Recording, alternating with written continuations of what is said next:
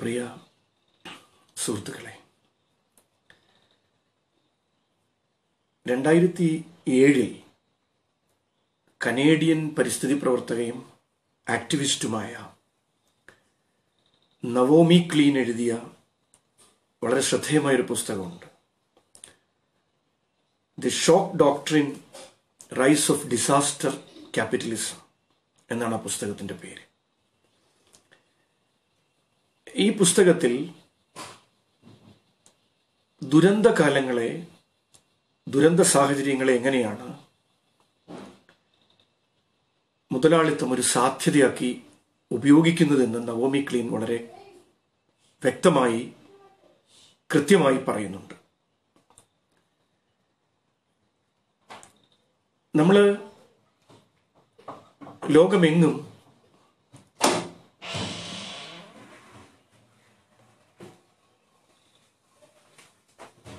ലോകമെങ്ങും ഭരണകൂടങ്ങളുടെ ഭരണകൂടങ്ങൾ സമഗ്രാധിപത്യത്തിന്റെയോ ഏകാധിപത്യത്തിന്റെയോ ഒക്കെ ഭാഷ സംസാരിക്കുന്നതാണ് നമ്മൾ കേൾക്കുന്നത്. ഈ ദുരന്തങ്ങളെ സാധ്യതയാക്കി ഉപയോഗിക്കുകയെന്ന ഭരണകൂട താല്പര്യങ്ങളെ ഒന്നാകെയാണ് നവോമി ക്ലീൻ ഡിസാസ്റ്റർ ക്യാപിറ്റലിസം എന്ന സംജ്ഞയിലൂടെ വെളിവാക്കാൻ ശ്രമിക്കുന്നത്. ഇത് ഏതെങ്കിലും രാഷ്ട്രീയ സാമൂഹ്യ സാമ്പത്തിക വ്യവഹാര പ്രക്രിയകളിലെല്ലാം തന്നെ ഈ ദുരന്ത മുതലാളിത്തത്തിന്റെ പ്രതിഫലനം റിഫ്ലക്ഷൻ നമുക്ക് കാണാൻ കഴിയും. അത് ഏഷ്യയിലെയോ ആഫ്രിക്കയിലെയോ തെക്കേൻ അമേരിക്കയിലെയോ എന്നല്ല ഏതാണ്ട് എല്ലാ മേഖലകളിലും ഈ ഒരു ഒരു ഡിസാസ്റ്റർ ക്യാപിറ്റലിസത്തിന്റെ വാഴ്ച നടക്കുന്ന ഒരു കാലഘട്ടത്തിലാണ് നാം കടന്നു പോകുന്നത് അതൊരു കാലഘട്ടത്തിലൂടെയാണ് നാം കടന്നു പോകുന്നത് ഇത് ഇന്ത്യയിൽ വിദ്യാഭ്യാസ മേഖലയിൽ സമീപകാലത്ത് സംഭവിച്ചുകൊണ്ടിരിക്കുന്ന മാറ്റങ്ങളെല്ലാം തന്നെ ഈ ദുരന്ത കാലഘട്ടത്തിന്റെ ദുരന്ത മുതലാളിത്തത്തിന്റെ സൃഷ്ടിയോ അല്ലെങ്കിൽ ദുരന്ത മുതലാളിത്തത്തിന്റെ ഇടപെടലുകൾ ഈ വിദ്യാഭ്യാസ മേഖലയിലെ വ്യത്യസ്ത വ്യത്യസ്ത നയ സമീപനങ്ങളുമായി ബന്ധപ്പെടുത്തിക്കൊണ്ട് നമുക്ക് കാണാൻ കഴിയും. പ്രത്യേകിച്ച് ഏറ്റവും ഒടുവിൽ എൻ സി ആർ ടിയുടെ പാഠപുസ്തകങ്ങളിൽ നിന്ന് മുപ്പത് ശതമാനം സിലബസ് പൗരത്വവും ഫെഡറലിസവും ജനാധിപത്യം നേരിടുന്ന വെല്ലുവിളികളും നവ സാമൂഹ്യ മുന്നേറ്റങ്ങളും അടക്കമുള്ള മുപ്പത് ശതമാനം സിലബസ് വെട്ടിക്കുറച്ചതിലൂടെ ലക്ഷക്കണക്കിന് കുട്ടികളെ ഓൺലൈൻ വിദ്യാഭ്യാസ വ്യവസ്ഥയിൽ ലോക്ക്ഡൌൺ ആക്കിയതിലൂടെ വിദ്യാഭ്യാസ പ്രക്രിയയ്ക്ക് പുറത്താക്കിയതിലൂടെ നമുക്ക് ഈ ഇതിന്റെ എല്ലാം ഇതെല്ലാം ദുരന്ത മുതലാളിത്തത്തിന്റെ വിദ്യാഭ്യാസ മേഖലയിലെ അടയാളങ്ങളായി നമുക്ക് വിലയിരുത്താൻ കഴിയുന്നതാണ്. ഈ ഒരു കോണ്ടക്സ്റ്റിലാണ് ഈ ഒരു സാഹചര്യത്തിലാണ് A I D S O സംഘടിപ്പിക്കുന്ന ഈ വെബിനാറിന്റെ പ്രസക്തി എന്ന് ഞാൻ കരുതുന്നു.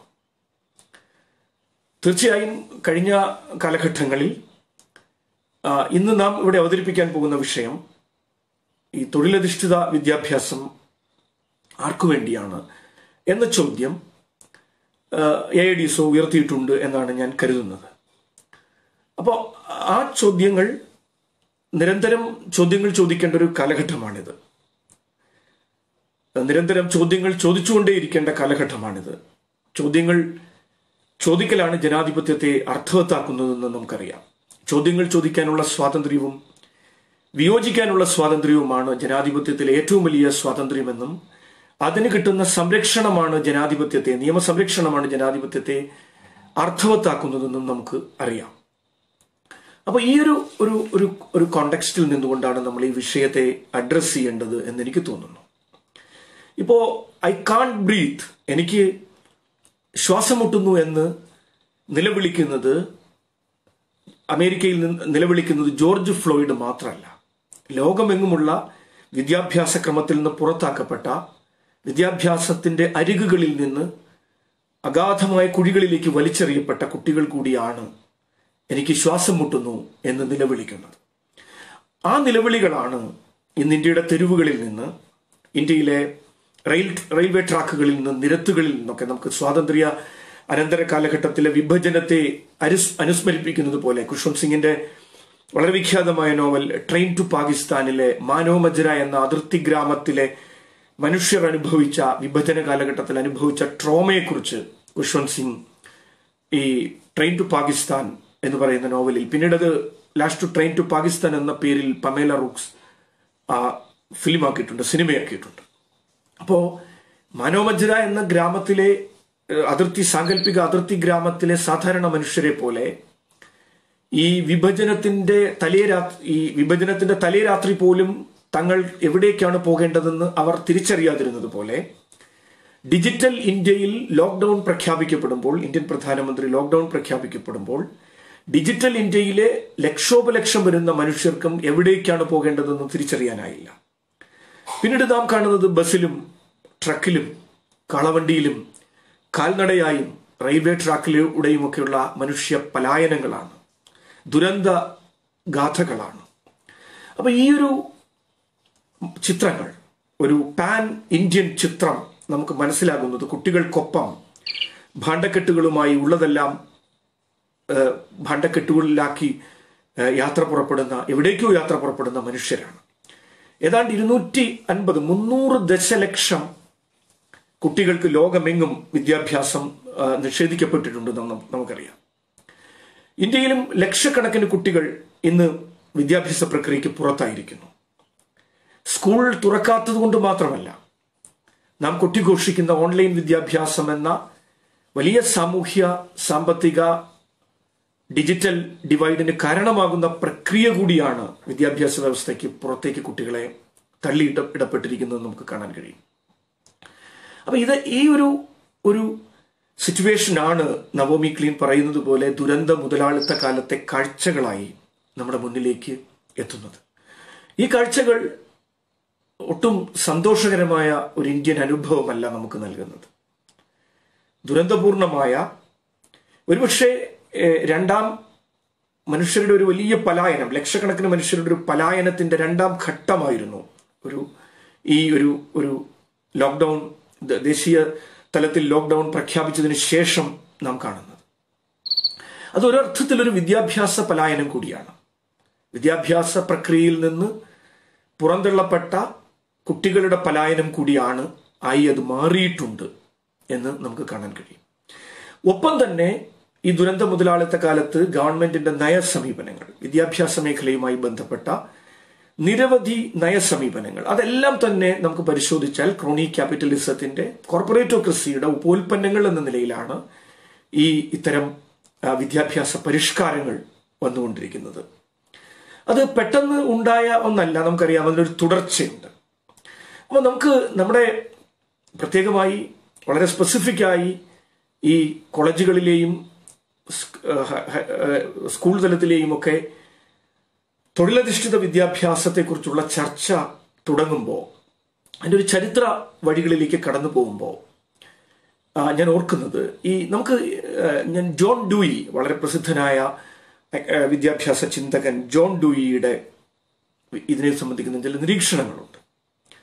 തൊഴിലധിഷ്ഠിത വിദ്യാഭ്യാസം എന്ന് പറഞ്ഞ പ്രക്രിയ നമ്മൾ വളരെ വളരെ പറയുന്ന വളരെ പലപ്പോഴും ഒരു ലോകത്തെ സംസ്കാരങ്ങളുടെ മാതൃകയായി പറയുന്ന ഗ്രീക്ക് നാഗരികതയുടെ കാലഘട്ടം മുതൽ തന്നെ ഗ്രീക്ക് സിവിലൈസേഷന്റെ കാലഘട്ടം മുതൽ തന്നെ ഈ ഗ്രീസിലെ നഗരരാഷ്ട്രങ്ങളായ ഏതൻസിലും സ്പാർട്ടയിലും തീപ്സിലും മാസിഡോണിയയിലും അടക്കം രണ്ടു തരം വിദ്യാഭ്യാസ ക്രമങ്ങൾ നിലവിലുണ്ടായിരുന്നു എന്ന് ജോൺ ഡൂയി അദ്ദേഹത്തിന്റെ ഡെമോക്രസി ആൻഡ് എഡ്യൂക്കേഷൻ എന്ന പുസ്തകത്തിൽ പറയുന്നുണ്ട്. ഒന്ന് ഒരു അഭിജാത വർഗത്തിന് വേണ്ടിയിട്ടുള്ള ഒരു വിദ്യാഭ്യാസ ക്രമം അവിടെ അവർ ജോമെട്രി പഠിക്കുന്നു ഗണിതശാസ്ത്രം പഠിക്കുന്നു ജ്യോതിശാസ്ത്രം പഠിക്കുന്നു. അങ്ങനെ അത്തരത്തിൽ ഒരു ഉയർന്ന വിഭാഗത്തിനെ ലക്ഷ്യമാക്കിയുള്ള ഒരു വിദ്യാഭ്യാസ ക്രമവും കൈത്തൊഴിൽ തൊഴിലുകളിൽ ഏർപ്പെടുന്ന ആളുകളെ ലാക്കാക്കിയുള്ള മറ്റൊരു വിദ്യാഭ്യാസ ക്രമവും ഇങ്ങനെ വിദ്യാഭ്യാസത്തിന്റെ രണ്ട് വ്യത്യസ്തമായ സമാന്തര ധാരകൾ ഉണ്ടായിരുന്നു എന്നാണ് ജോൺ ഡൂയി ഗ്രീക്ക് വിദ്യാഭ്യാസത്തെ ഉദാഹരിച്ചുകൊണ്ട് ഡെമോക്രസി ആൻഡ് എഡ്യൂക്കേഷൻ എന്ന പുസ്തകത്തിൽ പറയുന്നത്. ഇത് ഗ്രീക്ക് വിദ്യാഭ്യാസം ഗ്രീക്ക് കൾച്ചർ നമ്മൾ പലപ്പോഴും ഒരു മാതൃകയായിട്ട് അവതരിപ്പിക്കുന്ന ഒന്നാണ്. അരിസ്റ്റോട്ടലിനെയും പ്ലേറ്റോയെയും സോക്രട്ടീസിനെയും ദി റിപ്പബ്ലിക് എന്നവരുടെ വിഖ്യാതമായ പിന്നെ പ്ലേറ്റോയുടെ പുസ്തകത്തെയും അതുപോലെ അരിസ്റ്റോട്ടലിന്റെ പൊളിറ്റിക്സ് പോലെയുള്ള പൊളിറ്റിക്സ് പോലെയുള്ള പുസ്തകങ്ങളും ഗ്രീക്ക് സംഭാവന ലോക ലോക സംസ്കാരത്തിന് ഗ്രീസിന്റെ സംഭാവനയൊക്കെ നമ്മൾ പലപ്പോഴും കുട്ടികളോട് ക്ലാസ് റൂമിൽ അവതരിപ്പിക്കാറുള്ള കാര്യങ്ങളാണ്. പക്ഷേ ഈ ഗ്രീക്ക് വിദ്യാഭ്യാസത്തിലും ഈ രണ്ടു തരം വിദ്യാഭ്യാസ പദ്ധതികൾ ഉണ്ടായിരുന്നു എന്നും അത് ഒരു വർഗം മറ്റൊരു വർഗത്തെ അടിച്ചമർത്താൻ സാധ്യതയായി ഉപയോഗിക്കപ്പെട്ടിരുന്നു എന്നും ജോൺ ഡൂയിയെ പോലെയുള്ള ഒരു വിദ്യാഭ്യാസ പണ്ഡിതൻ പറയുമ്പോൾ നമുക്ക് സംശയിക്കാനാവില്ല. ജോൺ ഡോയി എത്രയോ വർഷങ്ങൾക്ക് മുമ്പാണ് ഏതാണ്ട് ഒരു നൂറ്റാണ്ട് ആവുന്നു ജോൺ ഡോയി ജീവിച്ചിരുന്ന കാലഘട്ടത്തിന്. അപ്പോൾ അന്നാണ് അദ്ദേഹം അത് സൂചിപ്പിക്കുന്നത്. അതുപോലെ തന്നെ ഇറ്റാലിയൻ വിദ്യാഭ്യാസ പദ്ധതിയുമായി ബന്ധപ്പെടുത്തിക്കൊണ്ട് അന്റോണിയോ ഗ്രാംഷിയുടെ ജർമ്മൻ ജർമ്മൻ മാർക്സിസ്റ്റും ചിന്തകനുമായിരുന്ന അന്റോണിയോ ഗ്രാംഷിയുടെ വിഖ്യാതമായ ഒരു കാഴ്ചപ്പാടുണ്ട്. അദ്ദേഹം പറഞ്ഞിരുന്നത് ജർമ്മനിയിൽ ഇറ്റലി ഇറ്റലിയിൽ ഇറ്റാലിയൻ വിദ്യാഭ്യാസ പദ്ധതിയിൽ. ഇറ്റാലിയൻ വിദ്യാഭ്യാസ പദ്ധതിയിൽ അഭിജാത വർഗത്തിനുണ്ടായിരുന്ന ഒരു തരം വിദ്യാഭ്യാസവും തൊഴിലാളി വർഗത്തിനുണ്ടായിരുന്ന മറ്റൊരു വിദ്യാഭ്യാസവും. അപ്പോൾ അഭിജാത വർഗത്തിനുണ്ടായിരുന്ന വിദ്യാഭ്യാസത്തിൽ അഡ്രസ് ചെയ്യുന്ന വിജ്ഞാനത്തിന്റെ ഏറ്റവും ഉയർന്ന തലങ്ങളല്ല പലപ്പോഴും കേവല പരിശീലനത്തിന് മാത്രം ഉപയോഗിച്ചിരുന്ന തൊഴിലധിഷ്ഠിത വിദ്യാഭ്യാസത്തിന്റെ ഭാഗമായി ഇറ്റാലിയൻ വിദ്യാഭ്യാസ പദ്ധതിയിൽ ഉണ്ടായിരുന്നത് എന്ന് ഗ്രാംഷി നിരീക്ഷിക്കുന്നുണ്ട്. ഈ ഗ്രാംഷിയുടെ ഈ നിരീക്ഷണം പിന്നെ ഇറ്റാലിയൻ വിദ്യാഭ്യാസ പദ്ധതിക്ക് പൊതുവായി പ്രത്യേകിച്ച് മുസോളിനിയുടെ കാലഘട്ടത്തിലുള്ള ഇറ്റാലിയൻ ജെൻഡയിൽ ക്രൊച്ചയുടെയും വിദ്യാഭ്യാസ പദ്ധതിക്ക് പ്രത്യേകമായുമുള്ള കാര്യമാണ്. അപ്പോൾ ഒരു വലിയ വിഭാഗത്തിനെ വിദ്യാഭ്യാസത്തിന്റെ പൊതുധാരയിൽ നിന്ന് അടർത്തി മാറ്റി കേവലമായ കായിക പരിശീലനത്തിൽ ഊന്നിയ വിദ്യാഭ്യാസം അവർക്ക് നൽകിയിരുന്നു എന്നുള്ളതിന്റെ പ്രത്യക്ഷ ഉദാഹരണമായി നമുക്ക് ഡ്യൂയിയുടെ ഗ്രീക്ക് വിദ്യാഭ്യാസ പദ്ധതിയെയും അതുപോലെ ഗ്രാംഷിയുടെ ഇറ്റാലിയൻ വിദ്യാഭ്യാസ പദ്ധതിയെയും സംബന്ധിച്ചിട്ടുള്ള നിരീക്ഷണങ്ങളിൽ നിന്ന് ചില നിഗമനങ്ങളിൽ എത്താൻ കഴിയും. സമാനമായി ഇന്ത്യൻ വിദ്യാഭ്യാസത്തിൽ ഇന്ത്യൻ വിദ്യാഭ്യാസത്തിൽ പ്രത്യേകിച്ചും വൈദിക കാലഘട്ടത്തിൽ വൈദിക കാലഘട്ടത്തിൽ ഉണ്ടായിരുന്ന നമ്മൾ പറയുന്ന യൂണിവേഴ്സിറ്റികൾ ഇന്ന് പറഞ്ഞ യൂണിവേഴ്സിറ്റി എന്നൊന്നും വിളിക്കാമെന്ന് എനിക്കറിയില്ല. വിദ്യാകേന്ദ്രങ്ങളായിരുന്ന ഒരുപാട് സർവകലാശാലകളെ കുറിച്ച് നമ്മൾ പറയാറുണ്ട്. നളന്തയെന്നോ തക്ഷശിലയെന്നോ വിക്രമാശിലയെന്നോ നാദിയെന്നോ വളഭിയെന്നോ ഒക്കെ പറയുന്ന ഇത്തരം വിദ്യാകേന്ദ്രങ്ങളിലും കേന്ദ്രങ്ങളിലും വ്യത്യസ്തമായ രണ്ടു തരം വിദ്യാഭ്യാസ രീതികൾ. ഒന്ന് ഭരിക്കപ്പെടുന്നവന്റെ ഒരു വിദ്യാഭ്യാസ സമീപനം. മറ്റൊന്ന് അതിനിരയാകുന്നവന്റെ മറ്റൊരു വിദ്യാഭ്യാസ ക്രമം എന്ന നിലയിൽ ഉണ്ടായിരുന്നു ഇത് കേരളത്തിലും കേരളത്തിലെ കേരളത്തിലെ ആദ്യ കാലഘട്ടത്തിലെ വിദ്യാ കേന്ദ്രങ്ങളായി നമുക്ക് ഇന്ന് അറിയുന്നത് കുലശേഖര ഭരണകാലത്തെ ശാലകളെ കുറിച്ചാണ് പ്രത്യേകിച്ചും കേരളത്തിൽ ഇപ്പൊ അതുമായി ബന്ധപ്പെട്ട ചില ലിഖിത തെളിവുകൾ പാർത്ഥിവപുരം ശാസനം പോലെയുള്ള ഹജൂർ ശാസനം എന്നൊക്കെ നമ്മൾ വിളിക്കുന്ന ടി ഗോപിനാഥ റാവു കണ്ടെത്തിയ ഹജൂർ തിരുവനന്തപുരത്തെ ഹജൂർ കച്ചേരിയിൽ നിന്ന് കണ്ടെത്തിയ ഈ ഒരു ഈ ഒരു പാർത്ഥിപുരം ശാസനത്തിൽ നിന്ന് നമുക്ക് ഇവിടെ പാർത്ഥിപുരം ശാലയെക്കുറിച്ചുള്ള കാന്തളൂർ ശാലയെക്കുറിച്ചുള്ള ശുഖപുരം ശാലയെക്കുറിച്ചുള്ള ചില വിവരങ്ങളൊക്കെ നമുക്ക് ലഭ്യമാകുന്നുണ്ട്. അക്കാലഘട്ടത്തിലെ ചരിത്ര രേഖകൾ ഇൻസ്ക്രിപ്ഷണൽ എവിഡൻസസ് പരിശോധിക്കുകയാണെങ്കിൽ കേരളത്തിൽ ഉണ്ടായിരുന്ന വിദ്യാഭ്യാസ ക്രമത്തിലെ ഒരു ബ്രാഹ്മണ കേന്ദ്രീകൃത വിദ്യാഭ്യാസം ഇവിടെ ഉണ്ടായിരുന്നുവെന്നും വലിയൊരു ജനവിഭാഗം പ്രാന്തവൽക്കരിക്കപ്പെട്ട അരികുവൽക്കരിക്കപ്പെട്ട ഒരു ജനവിഭാഗം വിദ്യാഭ്യാസ വ്യവസ്ഥയ്ക്ക് പുറത്തായിരുന്നുവെന്നും നമുക്ക് കാണാൻ കഴിയും. അപ്പൊ അവിടെ വ്യാകരണവും തർക്കവും പിന്നെ സംഖ്യവും വൈശേഷികവും അല്ലെങ്കിൽ ഈവൻ ആയുധവിദ്യ അടക്കം. ആയുധവിദ്യ അടക്കമുള്ള വിദ്യാഭ്യാസ സമ്പ്രദായം ബ്രാഹ്മണ വിഭാഗത്തിന് മാത്രമായി പരിമിതപ്പെടുത്തുകയും മറ്റൊരു വലിയ വിഭാഗം വിദ്യാഭ്യാസ വ്യവസ്ഥയ്ക്ക് പുറത്താവുകയും ചെയ്ത ചരിത്രം നമുക്ക് മുന്നിലുണ്ട്. അപ്പൊ അവരുടെ വിദ്യാഭ്യാസപരമായ സാധ്യതകളെ ഉപയോഗപ്പെടുത്താൻ ഉപയോഗപ്പെടുത്തിയിരുന്നില്ല എന്ന് മാത്രമല്ല അത് നിഷേധിക്കപ്പെടുകയും ചെയ്തിരുന്നു. അപ്പൊ അതിനെതിരെ പിന്നീട് പിൽക്കാലഘട്ടത്തിൽ ഉണ്ടായ വിദ്യാഭ്യാസ മുന്നേറ്റങ്ങളുടെ കഥയെല്ലാം ചരിത്രമൊക്കെ നമുക്കറിയാം.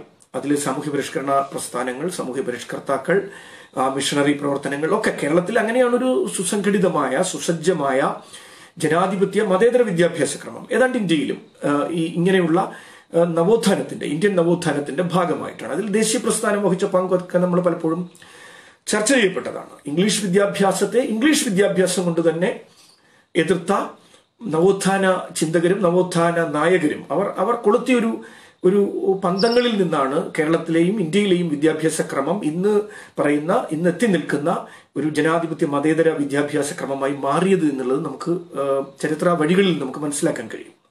അപ്പോ ഇന്ത്യയിൽ നമുക്കറിയാം ബ്രിട്ടീഷ് കാലഘട്ടത്തിൽ ഉണ്ടായിരുന്ന ബ്രിട്ടീഷ് കാലഘട്ടത്തിലെ വിവിധ റിപ്പോർട്ടുകൾ ഇപ്പോൾ വുഡ്സ് ഡെസ്പാച്ചും സർജൻ റിപ്പോർട്ടും മെക്കാളൈസ് മിനിറ്റ്സ് അടക്കമുള്ള വിദ്യാഭ്യാസ പദ്ധതികളിലെല്ലാം തന്നെ ഈ ഒരു ഒരു രണ്ട് തരം വിദ്യാഭ്യാസം ഒരു ഒരു സാങ്കേതിക വിദ്യാഭ്യാസമെന്നും പൊതുവിദ്യാഭ്യാസമെന്നും വിളിച്ചിരുന്ന രണ്ടു തരം വിദ്യാഭ്യാസത്തിന്റെ ഒരു ധാര പലപ്പോഴും ബ്രിട്ടീഷ് കാലഘട്ടത്തിലെ ഇന്ത്യൻ വിദ്യാഭ്യാസത്തിൽ നമുക്ക് കാണാൻ കഴിയും. ഇതിനെ രണ്ടിനെയും ഉൾച്ചേർക്കാനുള്ള ഒരു ശ്രമം നടക്കുന്നത് ഗാന്ധിയുടെ അദ്ദേഹത്തിന്റെ അടിസ്ഥാന വിദ്യാഭ്യാസ പദ്ധതിയുമായി ബന്ധപ്പെട്ടാണ്. അപ്പോൾ ഈ ഒരു ഈ ഒരു പിന്നെ ബ്രിട്ടീഷ് കാലഘട്ടത്തിൽ ഉള്ള ഉണ്ടായിരുന്ന രണ്ട് ബ്രിട്ടീഷ് കാലഘട്ടത്തിലും ഈ രണ്ട് ധാരകൾ ഉണ്ടായിരുന്നു വിദ്യാഭ്യാസത്തിൽ ഇന്ത്യൻ വിദ്യാഭ്യാസത്തിൽ എന്ന് പറയാനാണ് ഞാൻ ഇതിലൂടെ സൂചിപ്പിക്കുന്നത്.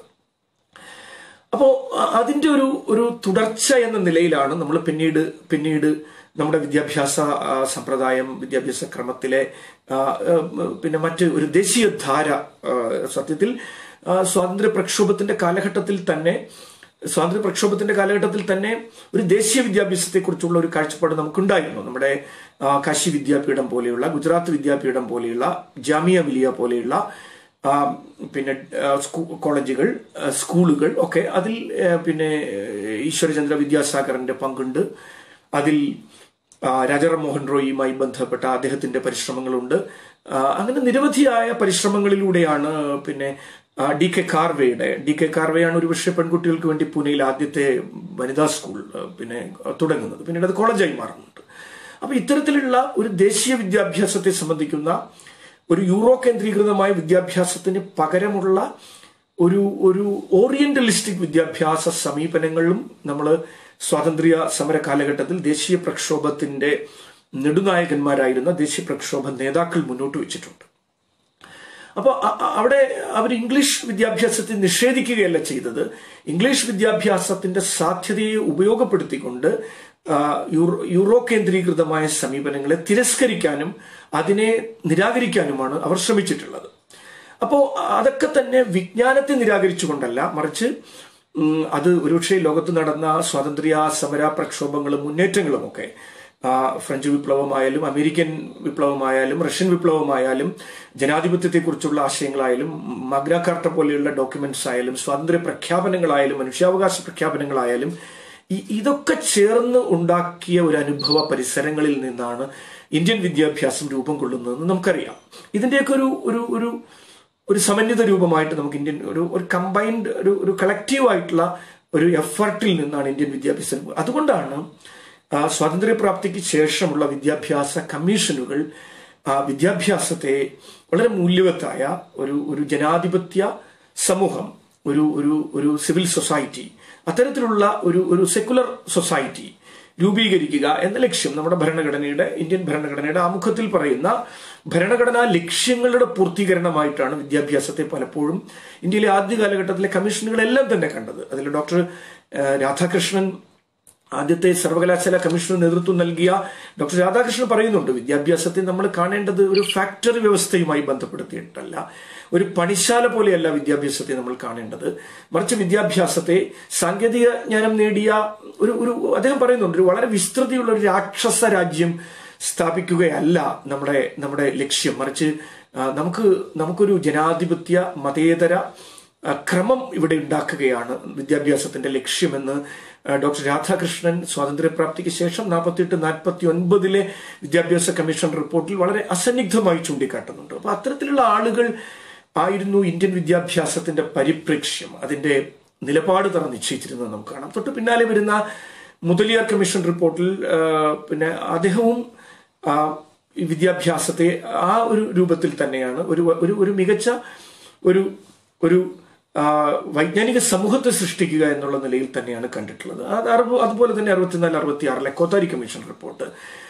Professor D S കോത്താരിയുടെ ഒരു സമഗ്രമായ ആ, ഒരു പക്ഷേ ഇന്ത്യയിലെ ഏറ്റവും കോംപ്രിഹെൻസീവ് ആയിട്ടുള്ള വിദ്യാഭ്യാസ റിപ്പോർട്ടും നമുക്ക് കാണാൻ കഴിയുന്നത് പലപ്പോഴും കോത്താരി കമ്മീഷൻ റിപ്പോർട്ടിനെയാണ് അപ്പോൾ ഇന്ന് കാണുന്ന വിദ്യാഭ്യാസപരമായ ഇന്ത്യയുടെ പുരോഗതിക്ക് നമ്മൾ ഒരു പക്ഷേ കടപ്പെട്ടിരിക്കുന്നത് കോത്താരി കമ്മീഷൻ റിപ്പോർട്ടിനോടായിരിക്കും അപ്പൊ ഇങ്ങനെയുള്ള ഈവൻ പ്രൊഫസർ യശ്പാൽ പോലും ഒരു ഫിസിസ്റ്റ് എന്ന നിലയിൽ അദ്ദേഹം പേരെടുത്തിട്ടുള്ള ഒരു അക്കാഡമിക് എന്ന നിലയിൽ പ്രൊഫസർ യശ്പാലിന്റെ പിന്നെ നിലപാ നിലപാടുകൾ എങ്ങനെയായിരുന്നെങ്കിലും ആണെങ്കിലും ഒരു ഫിസിസ്റ്റ് എന്ന നിലയിൽ അദ്ദേഹം വളരെ ഒരു നോട്ടബിളായ ഇന്ത്യയിൽ അറിയപ്പെടുന്ന ഒരു ഫിസിസ്റ്റ് തന്നെയായിരുന്നു ഡോക്ടർ യശ്പാൽ അടക്കമുള്ള ആളുകൾ. പക്ഷേ പക്ഷെ സ്വാതന്ത്ര്യ പ്രാപ്തിയുടെ കാലഘട്ടത്തിൽ തന്നെ ഈ വിദേശ കരങ്ങൾ വിദ്യാഭ്യാസത്തിലെ വൈദേശികമായിട്ടുള്ള ഇടപെടലുകൾ വിദ്യാഭ്യാസ പ്രക്രിയയിൽ ആ കാലഘട്ടത്തിൽ പ്രകടമായ സ്വാധീനം ചെലുത്തിയിട്ടില്ലെങ്കിലും മറ്റു മേഖലകളിൽ അത് ഉണ്ടായിട്ടുണ്ട്. കാരണം ആയിരത്തി തൊള്ളായിരത്തി നാൽപ്പത്തി ഒൻപതിൽ ഇന്ത്യൻ റെയിൽവേക്ക് മുപ്പത്തിയഞ്ച് ദശലക്ഷം ഡോളർ നൽകിക്കൊണ്ടാണ് ലോകബാങ്ക് അതിന്റെ ഇന്ത്യയിൽ ആദ്യത്തെ ഇടപെടൽ ആരംഭിക്കുന്നത്. അപ്പൊ നാൽപ്പത്തി ഒമ്പതിൽ സ്വാതന്ത്ര്യപ്രാപ്തിക്ക് തൊട്ടു പിന്നാലെ നാൽപ്പത്തി ഒൻപതിൽ തന്നെ I B R D international bank for reconstruction and development എന്ന ലോക ബാങ്ക് നാൽപ്പത്തി ഒൻപതിൽ തന്നെ ഇന്ത്യൻ വിദ്യാഭ്യാസത്തിൽ സോറി ഇന്ത്യയിലെ ഇന്ത്യയിലെ ജീവിതക്രമത്തിൽ ഇന്ത്യൻ ഇന്ത്യയിലെ സാമ്പത്തിക വ്യവഹാര പ്രക്രിയകളിൽ ഇടപെടൽ നടത്തിയിരുന്നു നാൽപ്പത്തി ഒൻപതിൽ അപ്പോൾ അത് തുടങ്ങിയത്. അപ്പോൾ അത്തരമുള്ള ഇടപെടലുകളൊക്കെ പിന്നീട് പിൽക്കാലഘട്ടത്തിൽ ഈ വിദ്യാഭ്യാസ കമ്മീഷനുകൾക്കൊപ്പം തന്നെ മുന്നോട്ട് പോകുന്നത് നമുക്ക് കാണാൻ കഴിയും. അപ്പൊ ഞാൻ പറഞ്ഞു വരുന്നത് വിദ്യാഭ്യാസ പ്രക്രിയയിൽ ഇത്തരത്തിലുള്ള ഇടപെടലുകൾ വളരെ ശക്തമാകുന്ന ഈ ഒരു ഇടപെടൽ നമ്മൾ കാണുന്നത് രണ്ടായിരത്തിലെ അംബാനി ബിർള കമ്മിറ്റി റിപ്പോർട്ടിലാണ്. വാജ്പേയിയുടെ കാലഘട്ടത്തിൽ അന്ന് വിദ്യാഭ്യാസ മന്ത്രിയായിരുന്ന മാനവശേഷി വികസന മന്ത്രിയായിരുന്ന മുരളി മനോഹർ ജോഷി രണ്ട് ഇന്ത്യയിലെ രണ്ട് ബിസിനസ് ടൈക്കൂണുകളെ കോർപ്പറേറ്റുകളെ കുമാരമംഗലം ബിർളയെയും മുകേഷ് അംബാനിയെയും ഇന്ത്യൻ വിദ്യാഭ്യാസത്തിന്റെ അജണ്ട ഉന്നത വിദ്യാഭ്യാസത്തിന്റെ പ്രത്യേകിച്ച് ഉന്നത വിദ്യാഭ്യാസത്തിന്റെ അജണ്ട എന്തെന്ന് തീരുമാനിക്കാനുള്ള കമ്മീഷന്റെ ചെയർമാൻമാരായി നിയമിക്കുന്നതിലൂടെ അതിൽ ചെയർമാൻ മുകേഷ് അംബാനിയും കുമാരമംഗലം ബിർള അതിലെ മെമ്പറുമായിരുന്നു. ഈ ഒരു റിപ്പോർട്ടിലെ framework report for higher education എന്ന് പറയുന്ന ഈ റിപ്പോർട്ടിലാണ് പ്രകടമായ ഒരു ഒരു കോർപ്പറേറ്റ് സ്വാധീനം ഇന്ത്യയിലെ വിദ്യാഭ്യാസ മേഖലയിൽ നമ്മൾ കാണുന്നത്. ആ റിപ്പോർട്ടിൽ ആ റിപ്പോർട്ടിൽ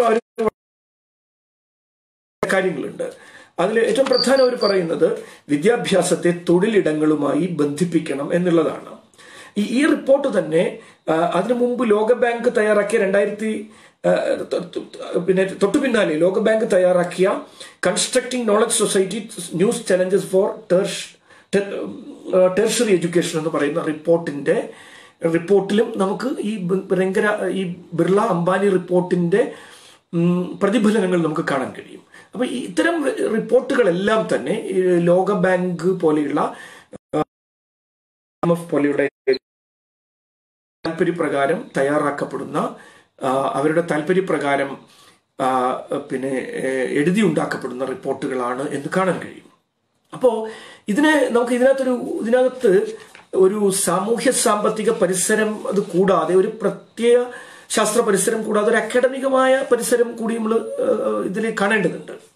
ഈ പലപ്പോഴും ഞാൻ ഈ പിന്നെ നമ്മൾ വിദ്യാഭ്യാസത്തെ ഒരു സാമൂഹ്യവും സാമ്പത്തികവുമായ നീതി കൈവരിക്കുന്നതിനുള്ള ഉപകരണം എന്ന നിലയിലാണല്ലോ ഞാൻ നേരത്തെ സൂചിപ്പിച്ചത് ഇന്ത്യയിലെ വിദ്യാഭ്യാസ കമ്മീഷനുകൾ കണ്ടത്. നമ്മൾ പറയുന്ന ഭരണഘടനയിലെ പ്രിയാമ്പിലൊക്കെ സൂചിപ്പിക്കുന്ന ജസ്റ്റിസ് അത് സോഷ്യൽ ഇക്കണോമിക് ആൻഡ് പൊളിറ്റിക്കൽ ആയിട്ടുള്ളത് liberty of thought expression belief faith and worship എന്നൊക്കെ പറഞ്ഞു പോകുന്ന equality of status and of and of opportunity അങ്ങനെയുള്ള ഒരു ഒരു ജനാധിപത്യ മതേതര സ്ഥിതി സമത്വ സമൂഹത്തിന്റെ സൃഷ്ടിക്ക് വേണ്ടിയുള്ള ഒരു ഒരു വഴി എന്ന നിലയിൽ വിദ്യാഭ്യാസത്തെ കാണുന്നതിന് പകരം വിദ്യാഭ്യാസത്തെ ഒരു പ്രത്യുൽപാദനപരമല്ലാത്ത പ്രോ ഒന്നായും അതുപോലെ തന്നെ ഒരു നോൺ മെരിറ്റ് ഗുഡായും വിദ്യാഭ്യാസത്തെ കാണുന്ന റിപ്പോർട്ടുകളാണ് നമുക്ക് പ്രത്യേകിച്ചും തൊണ്ണൂറുകൾക്ക് ശേഷം പ്രത്യേകിച്ച് ഗ്ലോബലൈസ്ഡ് പോസ്റ്റ് ഗ്ലോബലൈസ്ഡ് കാലഘട്ടത്തിലെ വിദ്യാഭ്യാസത്തെ നിശ്ചയിച്ചിരുന്നതും നിർണയിച്ചിരുന്നതെന്നും നമുക്കിപ്പോൾ അസന്നിഗ്ധമായി പറയാൻ കഴിയും. അങ്ങനെ പറയുമ്പോൾ വിദ്യാഭ്യാസം നിഷ്പക്ഷമായ ഒരു കാര്യമല്ല എന്ന് നമുക്കറിയാം. വിദ്യാഭ്യാസം രാഷ്ട്രീയം പ്രവർത്തിക്കുന്നുണ്ട്. ആ രാഷ്ട്രീയം ആരുടെ രാഷ്ട്രീയമാണ് എന്നത് വളരെ പ്രസക്തമായ ചോദ്യമാണ്. നമുക്ക് അറിയാം വിദ്യാഭ്യാസത്തിന് പ്രത്യയശാസ്ത്രപരമായ സമഗ്രാധിപത്യമായി വിദ്യാഭ്യാസത്തെ ഗ്രാംഷി കാണുന്നുണ്ട്. ഐഡിയോളജിക്കൽ ഹെജിമണിയുടെ ഒരു ഉപകരണം എന്ന നിലയിൽ ഗ്രാംഷി വിദ്യാഭ്യാസത്തെ നിരീക്ഷിച്ചിട്ടുണ്ട്. ഇറ്റലിയിൽ. അതുപോലെ തന്നെ അൽത്തൂസർ പോസ്റ്റ് മാർസിയൻ ചിന്തകരിൽ ഒരാളായ അൽത്തൂസർ അതിനെ കാണുന്നത് ഐഡിയോളജിക്കൽ സ്റ്റേറ്റ് അപ്പാരറ്റസ് എന്ന നിലയിലാണ്. ഭരണകൂടത്തിന്റെ പ്രത്യയശാസ്ത്ര ഉപകരണങ്ങളാണ് ഈ വിദ്യാഭ്യാസ വ്യവസ്ഥയും സ്കൂളുകളും പിന്നെ കോടതിയും നിയമവ്യവസ്ഥയും എന്നൊക്കെയുള്ള അൽത്തൂസറിന്റെ നിരീക്ഷണം കൂടി നമുക്ക് ഈ ഈ ഈ ഈ ഒരു കോണ്ടക്സ്റ്റിലേക്ക് എത്തുന്നതിന് മുമ്പ് പരിശോധിക്കേണ്ടതുണ്ട്. അതുപോലെ തന്നെ പൊതു താല്പര്യങ്ങളുടെ അടിച്ചമർത്തൽ സപ്രഷൻ ഓഫ് ജനറലൈസ്ഡ് ഇൻട്രസ്റ്റ് എന്ന് ഹെബർമാസ് ഇതിനെ നിരീക്ഷിക്കുന്നുണ്ട്. രാഷ്ട്രത്തിന്റെ പൊതു താല്പര്യങ്ങളുടെ പൊതുവായ താല്പര്യങ്ങളുടെ അടിച്ചമർത്തലിനുള്ള ഉപകരണമാണ് വിദ്യാഭ്യാസം എന്ന് ഹെബർമാസ് മാസിനെ പോലെയുള്ള ആളുകൾ നിരീക്ഷിക്കുന്നുണ്ട്. അതുപോലെ നമ്മൾ പിന്നെ ഫ്രഞ്ച് ചിന്തകൻ ഫുക്കോ യുടെ ഒരു നിരീക്ഷണം വളരെ ശ്രദ്ധേയമാണ്. അദ്ദേഹം പറഞ്ഞത് ഒരു power knowledge access there is a reciprocal relationship between power and knowledge എന്നുള്ളത് എന്നൊരു കാഴ്ചപ്പാട്. നോളജ് എങ്ങനെ പവർ അധികാരം എങ്ങനെ വിജ്ഞാനത്തെ സ്വാധീനിക്കുന്നുവെന്നും വിജ്ഞാനം നിർമ്മിക്കുന്ന പ്രക്രിയയെ എങ്ങനെ സ്വാധീനിക്കുന്നുവെന്നും എങ്ങനെ കരിക്കുലം കൺസ്ട്രക്ഷനെ സ്വാധീനിക്കുന്നുവെന്നും എങ്ങനെ സിലബസിനെ സ്വാധീനിക്കുന്നുവെന്നും എങ്ങനെ പാഠപുസ്തകങ്ങളെ സ്വാധീനിക്കുന്നുവെന്നും തിരിച്ച് ഈ വിജ്ഞാനത്തിലൂടെ രൂപീകരിക്കപ്പെടുന്ന അധികാര വ്യവസ്ഥ എങ്ങനെ അധികാര വ്യവസ്ഥയെ സൃഷ്ടിക്കുന്നുവെന്നും ഇത് തമ്മിലുള്ള ഒരു പാരസ്പര്യത്തെക്കുറിച്ചാണ് ഫൂക്കോ അദ്ദേഹത്തിന്റെ വളരെ വിഖ്യാതമായ പവർ നോളജ് നെക്സസ് തിയറിയിൽ അധികാരവും വിജ്ഞാനവും തമ്മിലുള്ള ബന്ധത്തെ കുറിക്കുന്ന ആ ആശയത്തിന്റെ ഭാഗമായി അവതരിപ്പിക്കുന്നു. അപ്പൊ ഇതിൽ നിന്നെല്ലാം നമുക്ക് പലപ്പോഴും പറയാ നമ്മൾ എത്തുന്ന ചില നിഗമനങ്ങളുണ്ട്. ആ നിഗമനങ്ങൾ എന്നത് വിദ്യാഭ്യാസം കൃത്യമായ രാഷ്ട്രീയ പക്ഷപാതിത്വങ്ങളുള്ള ഒരു പ്രക്രിയയാണ് എന്നതാണ്.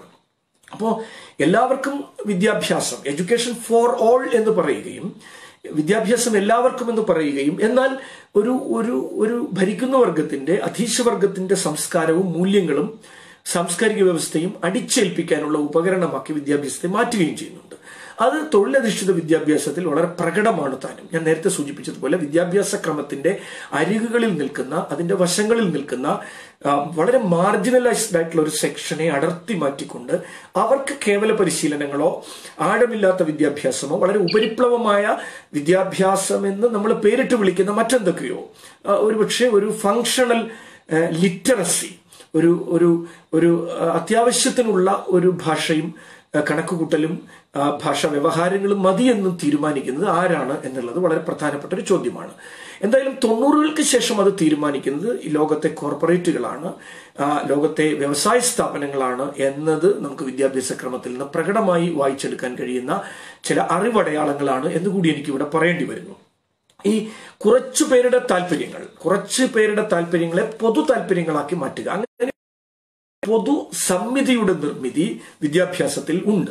അത്തരത്തിൽ ഒരു ഒരു മിത്തിനെ അത്തരം ഒരു മിത്തിക്കലായ ഒന്നാണ് തൊഴിലധിഷ്ഠിത വിദ്യാഭ്യാസമാണ് എല്ലാ പ്രശ്നങ്ങളുടെയും പരിഹാരം എന്നത്.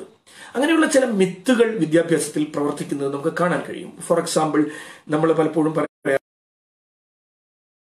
എല്ലാം പരിഹാരം എന്നത് മറ്റൊരു മിത്താണ്. ഇങ്ങനെയുള്ള ഒരുപാട് മിത്തുകൾ വിദ്യാഭ്യാസത്തെ വിദ്യാഭ്യാസത്തിൽ ഒരു ഒരു പ്രതീതി യാഥാർത്ഥ്യം നമ്മൾ പറയുന്ന ഒരു വെർച്വൽ റിയാലിറ്റിയായി മാറുന്നുണ്ട്. അതിൽ ഒന്ന് ഞാൻ നേരത്തെ സൂചിപ്പിച്ച തൊഴിലധിഷ്ഠിത വിദ്യാഭ്യാസം വൊക്കേഷണൽ എഡ്യൂക്കേഷനാണ് നാട്ടിലെ എല്ലാ പ്രശ്നങ്ങളുടെയും പരിഹാരം എന്ന് പറയുന്ന പ്രശ്നങ്ങളിൽ നമ്മൾ മാറ്റി നിർത്തുകയാണ് ചെയ്യുന്നത്. യഥാർത്ഥ പ്രശ്നങ്ങൾ നമുക്കറിയാം. അത് നമ്മുടെ വ്യവസ്ഥ സൃഷ്ടിക്കുന്ന പ്രശ്നങ്ങൾ ഭരണകൂടം സൃഷ്ടിക്കുന്ന പ്രശ്നങ്ങൾ തൊഴിൽ നിയമങ്ങൾ സൃഷ്ടിക്കുന്ന പ്രശ്നങ്ങൾ തൊഴിലില്ലായ്മ സൃഷ്ടിക്കുന്ന പ്രശ്നങ്ങൾ ചൂഷണം സൃഷ്ടിക്കുന്ന പ്രശ്നങ്ങൾ. ഇത്തരം പ്രശ്നങ്ങളെ മറികടക്കാനുള്ള ഒരു വഴിയായി ഭരണകൂടങ്ങൾ ഉപയോഗിക്കുന്നത് തൊഴിലധിഷ്ഠിത വിദ്യാഭ്യാസം എന്ന എന്ന ആകർഷകമായ ഒരു പക്ഷെ ചെറുപ്പക്കാരെയൊക്കെ അട്രാക്ട് ചെയ്യാനുള്ള ഒരു സാധ്യതയാണ്. വളരെ ഷുഗർ കോട്ടഡ് ആണത്. അത് മധുരം പുരട്ടി അവതരിപ്പിക്കുന്ന ഒരു വെർച്വൽ റിയാലിറ്റി മാത്രമാണ്.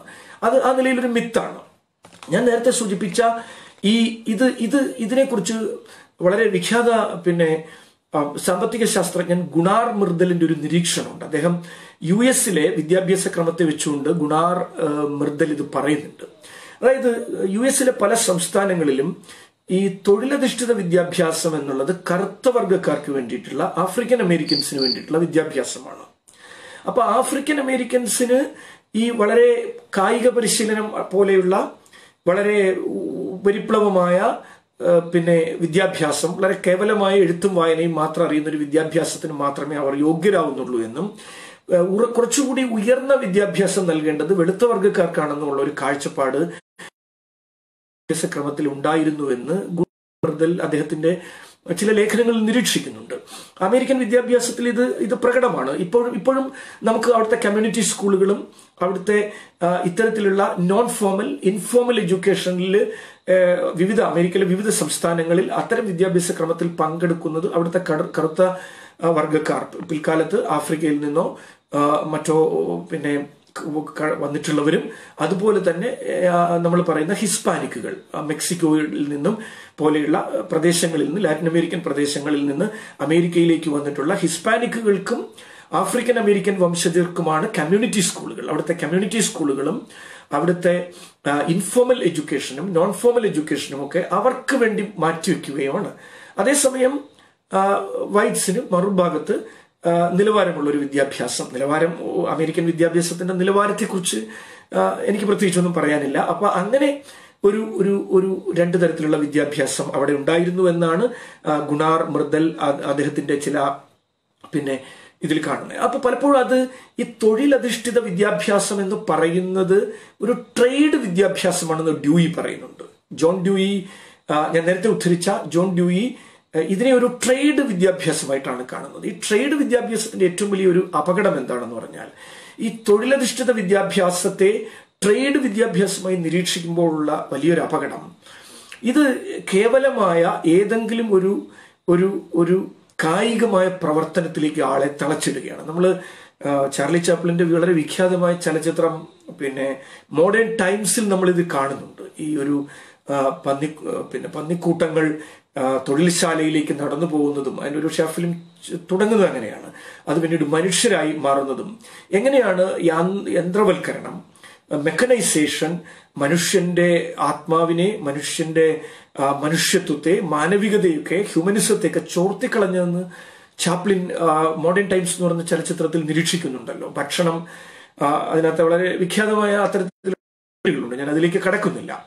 അപ്പോൾ ഇത്തരത്തിൽ ഉള്ള ഒരു വൊക്കേഷണൽ വിദ്യാഭ്യാസത്തിന്റെ സിദ്ധാന്തവും പ്രയോഗവും ഒക്കെ പലപ്പോഴും ട്രേഡ് വിദ്യാഭ്യാസമായി മാറുന്നുണ്ട്. വളരെ കേവലമായ സാങ്കേതിക വിദ്യാഭ്യാസമായി അത് പരി പരിണമിക്കുന്നു എന്നുള്ളതാണ് അത് മാറുന്നു എന്നുള്ളതാണ് തൊഴിലധിഷ്ഠിത വിദ്യാഭ്യാസം. ഈ തൊഴിൽ എടുക്കുന്ന ആളെ സംബന്ധിച്ചിടത്തോളം തൊഴിലെടുക്കുന്ന ആൾക്ക് ഈ ഈ തൊഴിലിന്റെ ഒരു സാംസ്കാരിക പരിസരം എന്താണെന്നറിയില്ല. ഈ തൊഴിലിന്റെ ഒരു സാമൂഹ്യമായ അന്വേഷണം ആ തൊഴിലിന്റെ ഒരു ചരിത്രപരത അയാൾക്ക് എന്താണെന്ന് അറിയില്ല ആ തൊഴിൽ എന്തിനെയാണ് പ്രതിനിധീകരിക്കുന്നതെന്ന് അയാൾക്കറിയില്ല.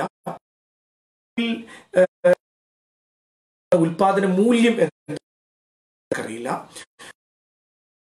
അറിവില്ലാത്ത തൊഴിലിന്റെ കേവല മറ്റുള്ള ഉപകരണ തൊഴിലാളിയെ മാറ്റുക തൊഴിലധിഷ്ഠിത വിദ്യാഭ്യാസത്തിന്റെ ഒരു തലമാണ് പറയുന്നത് ജോൺ പറഞ്ഞു വരുമ്പോൾ ജോൺ ഡ്യൂയി ഒരു മാർസിസ്റ്റ് ഒന്നുമല്ല. പക്ഷെ മാർസിസ്റ്റ് അല്ലാത്ത ജോൺ ഡ്യൂയിക്ക് ഈ തൊഴിലധിഷ്ഠിത വിദ്യാഭ്യാസത്തിന്റെ അപകടങ്ങൾ മനസ്സിലാക്കാൻ ഏതാണ്ട് തൊണ്ണൂറ് വർഷം കഴി അത് അത് പറയുമ്പോൾ വിദ്യാഭ്യാസവും വിദ്യാഭ്യാസവും വൈരുദ്ധ്യം കാണുന്നുണ്ട്. അപ്പോ ഈ ഞാൻ അപ്പോൾ ഈ അത് ജോൺ ഡുയെ ഞാൻ വീണ്ടും ഉദാഹരിക്കുന്നത് ഡുയി വളരെ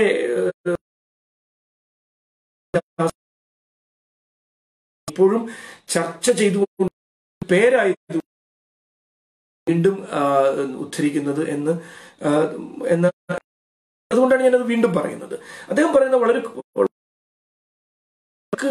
നൽകുന്ന വിദ്യാഭ്യാസം ചില മൃഗങ്ങൾക്ക് ഉള്ള വിദ്യാഭ്യാസം മറ്റൊരു വിഭാഗത്തിനും നൽകുന്നത് വിദ്യാഭ്യാസത്തിലെ ഒരു വരേണ്യവർഗ താല്പര്യമാണ് എന്ന ഡ്യൂയിയുടെ നിരീക്ഷണം വളരെ പ്രധാനമാണ് അല്ലേ?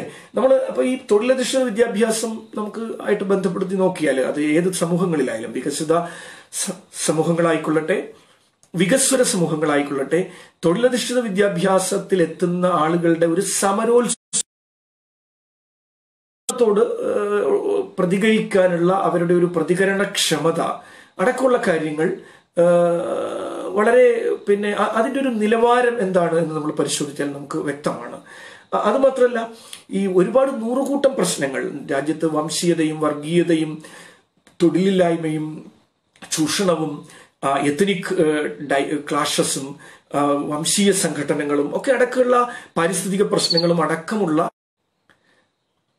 അത്തരം പ്രശ്നങ്ങൾ നിലനിൽ ഒരു ചെറിയ സാങ്കേതിക തടസ്സം ഉണ്ടായി ഇടയ്ക്ക് ക്ഷമിക്കുക. അത്തരം പ്രശ്നങ്ങൾ നിലനിൽക്കുമ്പോൾ ആ പ്രശ്നങ്ങളിൽ നിന്നെല്ലാം ഒളിച്ചോടാനുള്ള ഒരു വഴിയായി ഈ പറയുന്ന തൊഴിലധിഷ്ഠിത വിദ്യാഭ്യാസത്തെ ഉപയോഗിക്കുന്നുണ്ട് എന്നുള്ളതാണ്. അപ്പോൾ അതിനെ ഒരു അന്തസ് കുറഞ്ഞ ധാരയായി കാണേണ്ടത് ചിലരുടെ ആവശ്യമായി മാറുന്നുണ്ട്. അപ്പോൾ നിലവിലുള്ള സാമൂഹിക ഘടനയെയും സാമൂഹിക വ്യവസ്ഥയെയും നിലനിർത്തുന്ന ഒരു ഉപകരണമായി തൊഴിലധിഷ്ഠിത വിദ്യാഭ്യാസം പലപ്പോഴും മാറുന്നുണ്ട് എന്നുള്ളതാണ് വളരെ പ്രധാനപ്പെട്ട ഒരു കാര്യം. അപ്പൊ ആ നിലയിൽ തൊഴിലധിഷ്ഠിത വിദ്യാഭ്യാസത്തെ മിത്തുവൽക്കരിക്കേണ്ടത് ഇന്ത്യയിലെ ലോകത്തെയും കോർപ്പറേറ്റുകളുടെ ആവശ്യമായി മാറുന്നുണ്ട്. ഈ അത്തരത്തിൽ മറ്റൊരു മിത്താണ് തൊഴിലധിഷ്ഠിത വിദ്യാഭ്യാസവുമായി തന്നെ നമുക്ക് ബന്ധപ്പെടുത്തി പറയാവുന്ന മറ്റൊരു മിത്താണ് ഈ ഐ സി ടി സാങ്കേതികവുമായി ബന്ധപ്പെട്ട കാര്യവും. ഐ സി ടി സാങ്കേതിക കുട്ടികളുടെ പഠന നിലവാരത്തെയും ശേഷികളെയും ഒക്കെ ഇപ്പം ലോകമെങ്ങും നമുക്കറിയാം. ഒരു ഓൺലൈൻ വിദ്യാഭ്യാസത്തെ കുറിച്ച് പറയുക. ഈ ഓൺലൈൻ വിദ്യാഭ്യാസത്തിൽ തന്നെ പലതരം ഇന്ത്യകൾ നിലനിൽക്കുന്നുണ്ടെന്ന് നമ്മൾ കാണണം. ഇപ്പോൾ ഓൺലൈൻ വിദ്യാഭ്യാസത്തിൽ ഒരു ഭാഗത്ത് ഓൺലൈൻ പഠന സങ്കേതങ്ങൾ ഗൂഗിൾ മീറ്റോ ഗൂഗിൾ ക്ലാസ് റൂമോ സൂമോ സ്കൈ സ്കൈപ്പോ ഒക്കെ ഉപയോഗിച്ചുകൊണ്ട് നടത്തുന്ന ഒരു ഒരു ഒരു കുറച്ചുകൂടി ഉയർന്ന കേന്ദ്രീയ വിദ്യാലയങ്ങൾ നവോദയ വിദ്യാലയങ്ങൾ സി ബി എസ് ഇ സ്കൂളുകളുടെ ഒരു വിദ്യാഭ്യാസ ക്രമം നമ്മൾ കാണുന്നുണ്ട് അല്ലേ? അങ്ങനെ ഒന്ന് കാണുന്നുണ്ട്. മറുവശത്ത് വളരെ ഈ ചാനൽ ബ്രോഡ്കാസ്റ്റിംഗും വീഡിയോ ക്ലാസ്സുകളും ഒക്കെ ആയിട്ടുള്ള സ്റ്റേറ്റ് ബോർഡുകൾ നടത്തുന്ന ഒരു വിദ്യാഭ്യാസ ക്രമം നമ്മൾ കാണുന്നുണ്ട്. ഇനി ഇതിൽ നിന്നെല്ലാം പുറത്തേക്ക് പോയ പാർശ്വവൽക്കരിക്കപ്പെട്ട വശങ്ങളിൽ നിൽക്കുന്ന വിദൂര മലയോര മേഖലകളിലെയും ആദിവാസി മേഖലകളിലെയും ഭാഷാ ന്യൂനപക്ഷ പ്രദേശങ്ങളിലെയും തീരപ്രദേശങ്ങളിലെയും ഒക്കെ പിന്നെ ഈ വിദ്യാഭ്യാസ വ്യവസ്ഥയ്ക്ക് പുറത്തായ ഇപ്പൊ ഒരു ഒരു വലിയ വിഭാഗമുണ്ട്. വലിയ വിഭാഗം എന്ന് പറഞ്ഞാൽ ലക്ഷക്കണക്കിന് കുട്ടികളാണ്. അപ്പോൾ ഇത് ഒരു മറ്റൊരു മിത്താണ്. വിദ്യാഭ്യാസ മേഖലയിൽ പലപ്പോഴും അവതരിപ്പിക്കപ്പെടുന്ന മറ്റൊരു മിത്താണ്. അപ്പോൾ ഈ കമ്പ്യൂട്ടർ പഠനവും കമ്പ്യൂട്ടർ ഉപയോഗിച്ചുള്ള പിന്നെ പഠനം കമ്പ്യൂട്ടർ പഠനവും കമ്പ്യൂട്ടർ ഉപയോഗിച്ചുള്ള പഠനവും പിന്നെ അതുവഴി അതൊരു അന്തസ്സിന്റെ ഭാഗമാണ്. അല്ലെങ്കിൽ ഒരു സാമൂഹ്യ പദവിയുടെ ഭാഗമാണ്.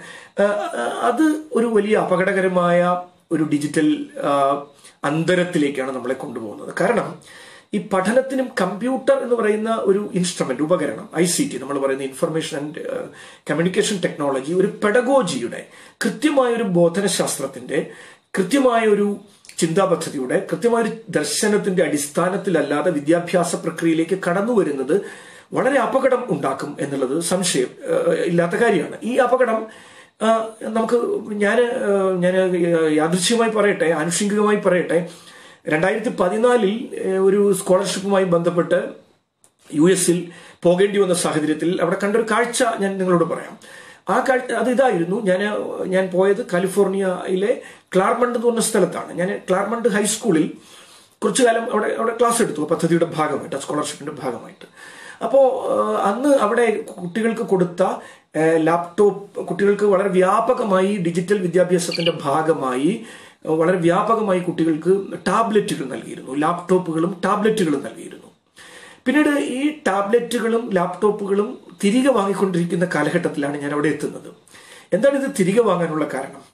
ഈ ഇത് ഒരു പെഡഗോജിയുടെ ഞാൻ നേരത്തെ സൂചിപ്പിച്ച ഒരു വിനിമയ ശാസ്ത്രത്തിന്റെ ഒരു ബോധനശാസ്ത്രത്തിന്റെ സമീപനത്തിലല്ലാതെ ഡിജിറ്റൽ വിദ്യാഭ്യാസം നടത്തിയതിന്റെ ദുരന്തമാണ് അന്ന് അമേരിക്ക ഏറ്റുവാങ്ങിയത്.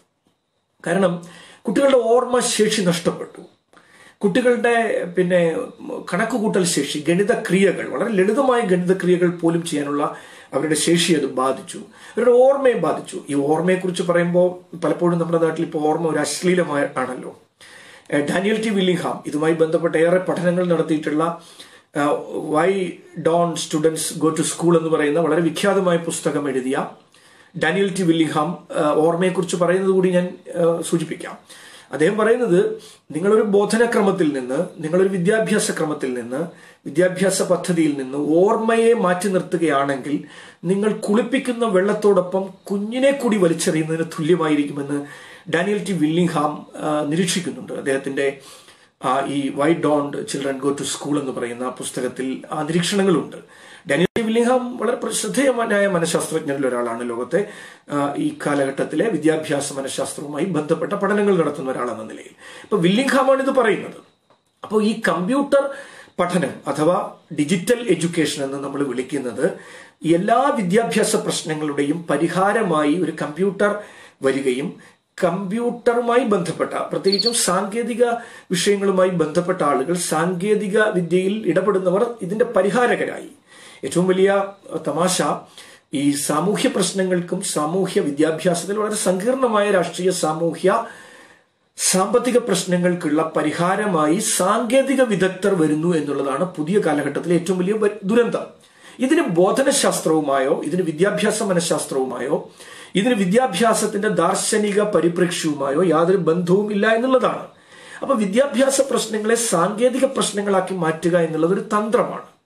അതിന് സാങ്കേതിക പരിഹാരങ്ങൾ ഉണ്ടാക്കുക. നമുക്കറിയാം കുട്ടികളുടെ കൊഴിഞ്ഞുപോക്കിന് കുട്ടികൾ വിദ്യാഭ്യാസം ഉപേക്ഷിച്ചു പോകുന്നതിന് കുട്ടികളുടെ ഗുണനിലവാര വിദ്യാഭ്യാസത്തിന്റെ ഗുണനിലവാരമില്ലായ്മയ്ക്ക് വിവിധ റിപ്പോർട്ടുകളിൽ സൂചിപ്പിക്കുന്ന പ്രഥമിന്റെ അസർ പഠന റിപ്പോർട്ടിൽ. ഏറ്റവും അവസാനത്തെ രണ്ടായിരത്തി ഇരുപതിൽ വന്ന അസറിന്റെ പിന്നെ പ്രഥമിന്റെ അസർ പഠന റിപ്പോർട്ട് ഉണ്ടല്ലോ. രണ്ടായിരത്തി ഇരുപതിൽ വന്ന അസർ പഠന റിപ്പോർട്ടിൽ പോലും ഇന്ത്യയിലെ ഒന്നാം ക്ലാസ്സിൽ പഠിക്കുന്ന അൻപത് ശതമാനത്തിലധികം കുട്ടികൾക്ക് ഒന്നു മുതൽ തൊണ്ണൂറ്റി ഒൻപത് വരെയുള്ള അക്കങ്ങൾ തിരിച്ചറിയാൻ പറ്റുന്നില്ല മനസ്സിലാക്കാൻ പറ്റുന്നില്ല എന്നാണ് അസർ പഠന റിപ്പോർട്ട് പറയുന്നത്. അസർ പഠന റിപ്പോർട്ടിനോട് നമുക്ക് യോജിപ്പോ വിയോജിപ്പോ ഉണ്ടാവാം. പക്ഷേ ഒട്ടൊക്കെ ശാസ്ത്രീയമായി ഒബ്ജക്റ്റീവായി നടക്കുന്ന ഒരു റിപ്പോർട്ടാണത്. ഒരു പഠനമാണത്. അപ്പോൾ ആ റിപ്പോർട്ടിൽ തന്നെ സൂചിപ്പിക്കുന്നു പൊതു പിന്നെ നമ്മുടെ ദേശീയ വിദ്യാഭ്യാസ നയം ഇന്ത്യയിൽ വലിയ വെല്ലുവിളിക്ക് വിധേയമാകുന്നു എന്ന് അസർ പഠന റിപ്പോർട്ടിൽ നമുക്ക് കാണാം. ഏറ്റവും പുതിയ റിപ്പോർട്ട് ഇപ്പോൾ അവൈലബിൾ ആണ്. രണ്ടായിരത്തി അപ്പൊ നമുക്ക് തെളിവുകളോടുകൂടിയാണ് നമ്മൾ സംസാരിക്കേണ്ടത്. നമ്മൾ വിദ്യാഭ്യാസത്തെക്കുറിച്ച് സംസാരിക്കുമ്പോൾ അത് എവിഡൻസ് ബേസ്ഡ് ആയിരിക്കണം എന്നുള്ളത് വളരെ പ്രധാനപ്പെട്ട കാര്യമാണ്. അപ്പോൾ ഈ അസർ പഠന റിപ്പോർട്ട് മാത്രമല്ല അപ്പൊ അസർ പഠന റിപ്പോർട്ടിനെ വേണമെങ്കിൽ നമുക്കൊരു എൻ ജി ഒയുടെ പഠന റിപ്പോർട്ടായി കാണാം. പക്ഷേ എന്താണ് നാസ് പറയുന്നത്? നാഷണൽ അച്ചീവ്മെന്റ് സർവേ രണ്ടായിരത്തി പത്തൊമ്പതിലെ നാഷണൽ അച്ചീവ്മെന്റ് സർവേ എന്താ പറയുന്നത്? നീതി ആയോഗിന്റെ റിപ്പോർട്ട് എന്താ പറയുന്നത്? ഈ റിപ്പോർട്ടുകളിൽ രണ്ടായിരത്തി പതിനെട്ടിൽ വന്ന ഡിജിറ്റൽ വിദ്യാഭ്യാസവുമായി ബന്ധപ്പെട്ട ഗവൺമെന്റ് റിപ്പോർട്ടിൽ എന്താ പറയുന്നത്? പിന്നെ നാഷണൽ സാമ്പിൾ സർവേയുടെ റിപ്പോർട്ടിൽ എന്താ പറയുന്നത്? ഈ റിപ്പോർട്ടുകളിലെല്ലാം തന്നെ വിദ്യാഭ്യാസ നമ്മുടെ പ്രാഥമിക വിദ്യാഭ്യാസ മേഖലയും നേരിടുന്ന വലിയ ഗുരുതരമായ പ്രശ്നങ്ങൾ എഴുത്തിലെയും വായനയിലും ിലെയും ഒക്കെ പ്രശ്നങ്ങൾ സെക്കൻഡറി വിദ്യാഭ്യാസത്തിലേക്ക് വരികയും സെക്കൻഡറി വിദ്യാഭ്യാസത്തിൽ നിന്ന് അത് ഉന്നത വിദ്യാഭ്യാസ മേഖലയിലേക്ക് കൂടി വ്യാപിക്കുന്നു എന്ന നിലയിലാണ് ഈ ഈ തെളിവുകൾ. നമ്മളിപ്പോ ഹൈപ്പത്തറ്റിക്കൽ ആയിട്ടുള്ള ഒരു അന്വേഷണത്തിന്റെ കോണ്ടക്സ്റ്റിൽ നല്ല ഞാനിത് സംസാരിക്കുന്നത്. തെളിവുകൾ നമ്മുടെ മുന്നിലുണ്ട്. പിന്നെ ഇനി ദേശീയ ഏജൻസികളാണെങ്കിൽ അന്തർദേശീയ ഏജൻസികളുടെ യുനെസ്കോയുടെയൊക്കെ യൂണിസെഫിന്റെയൊക്കെ പഠന റിപ്പോർട്ടുകളുണ്ട്.